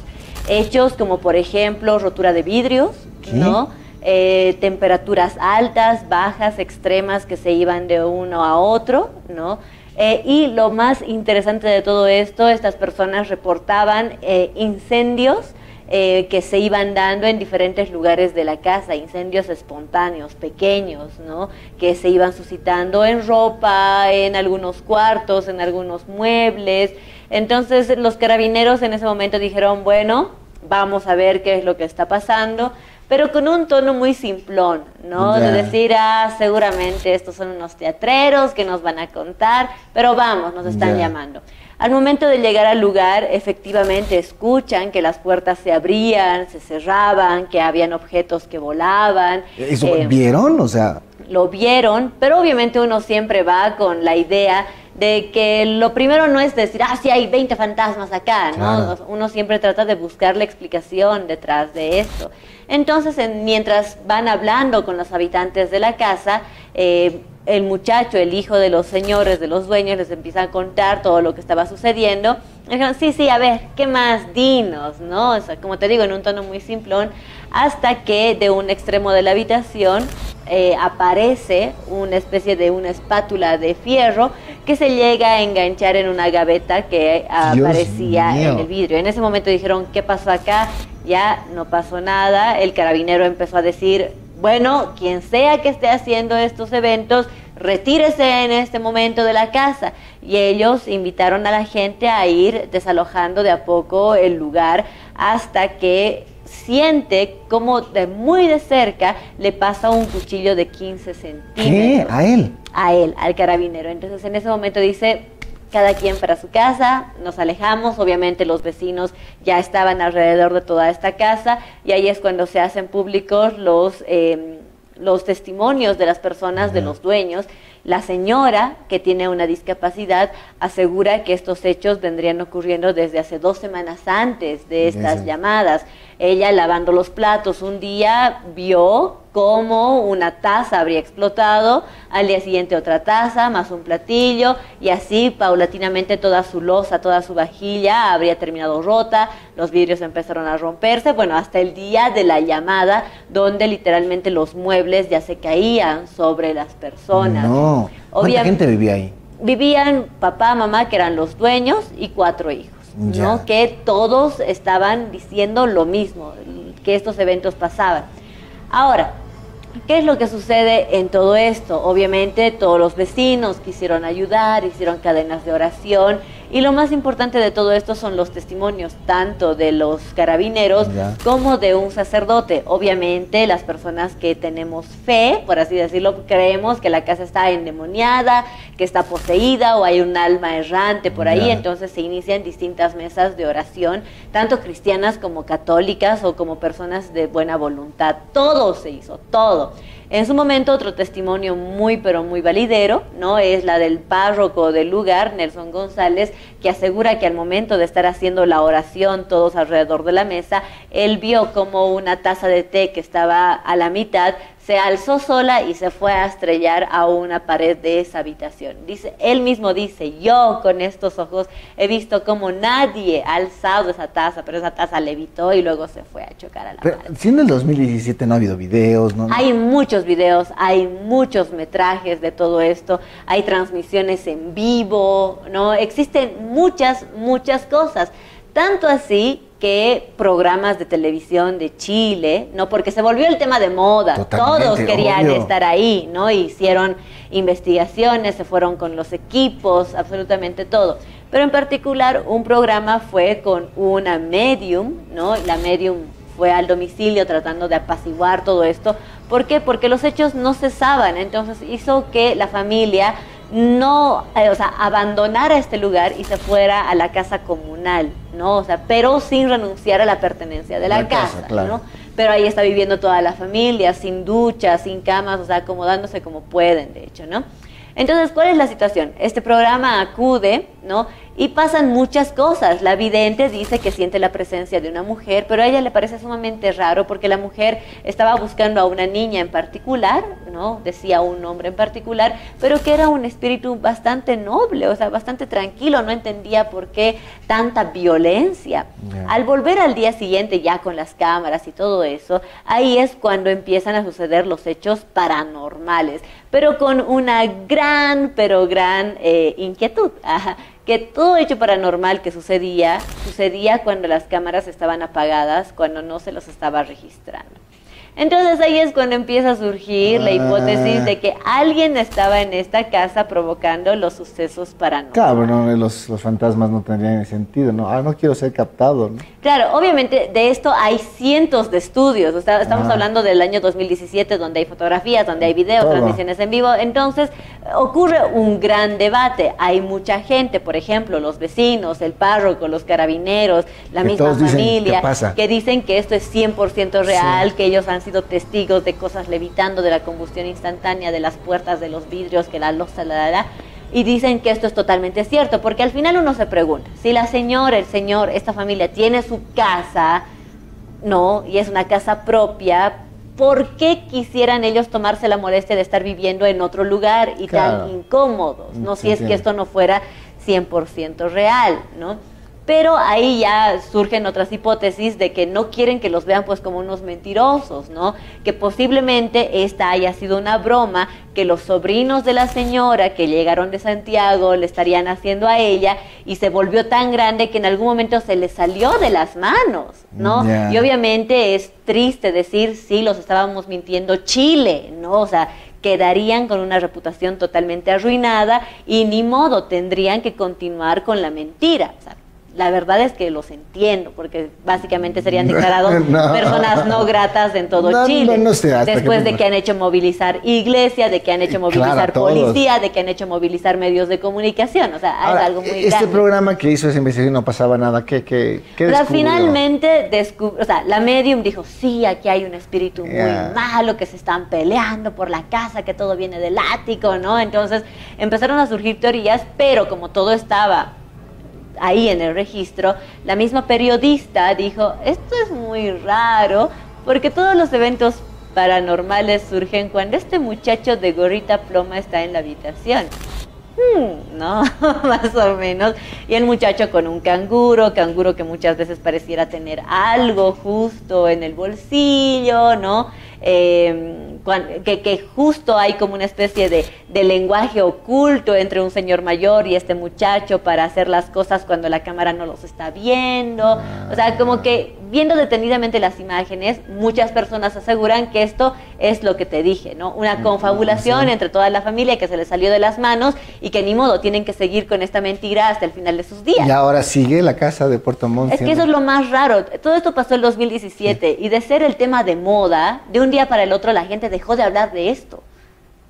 Entonces es como que si no fue, o sea, si fuera real, pues todavía esto se volvería en un sitio turístico y todo eso. Pero la verdad es que la mayoría de las personas piensan que esto es mentira. Finalmente, sea verdad o sea mentira, nos deja enseñanzas muy bonitas, ¿no? Como que las mentiras tienen patas te van a pescar, ¿no? O por último, siempre trata de buscar la respuesta razonable ante cualquier situación que tú creas que es O paranormal. sea, tú, das a- tú crees que esto fue mentira. Yo creo que es mentira, ¿no? Con respeto ¿Viste a los la videos? familia. Ha- Han, pa- han pasado durante todo este tiempo videos, yo no los Claro, puedo ver. o sea, obviamente hay cosas que sí son como que, wow, cómo se le cayó ese mueble encima, ¿no? Pero, ¿qué te puedo decir? O sea, todo esto de la brujería y de los espíritus y todo eso comenzó de una broma, ¿no? Que paulatina- paulatinamente se fue haciendo real.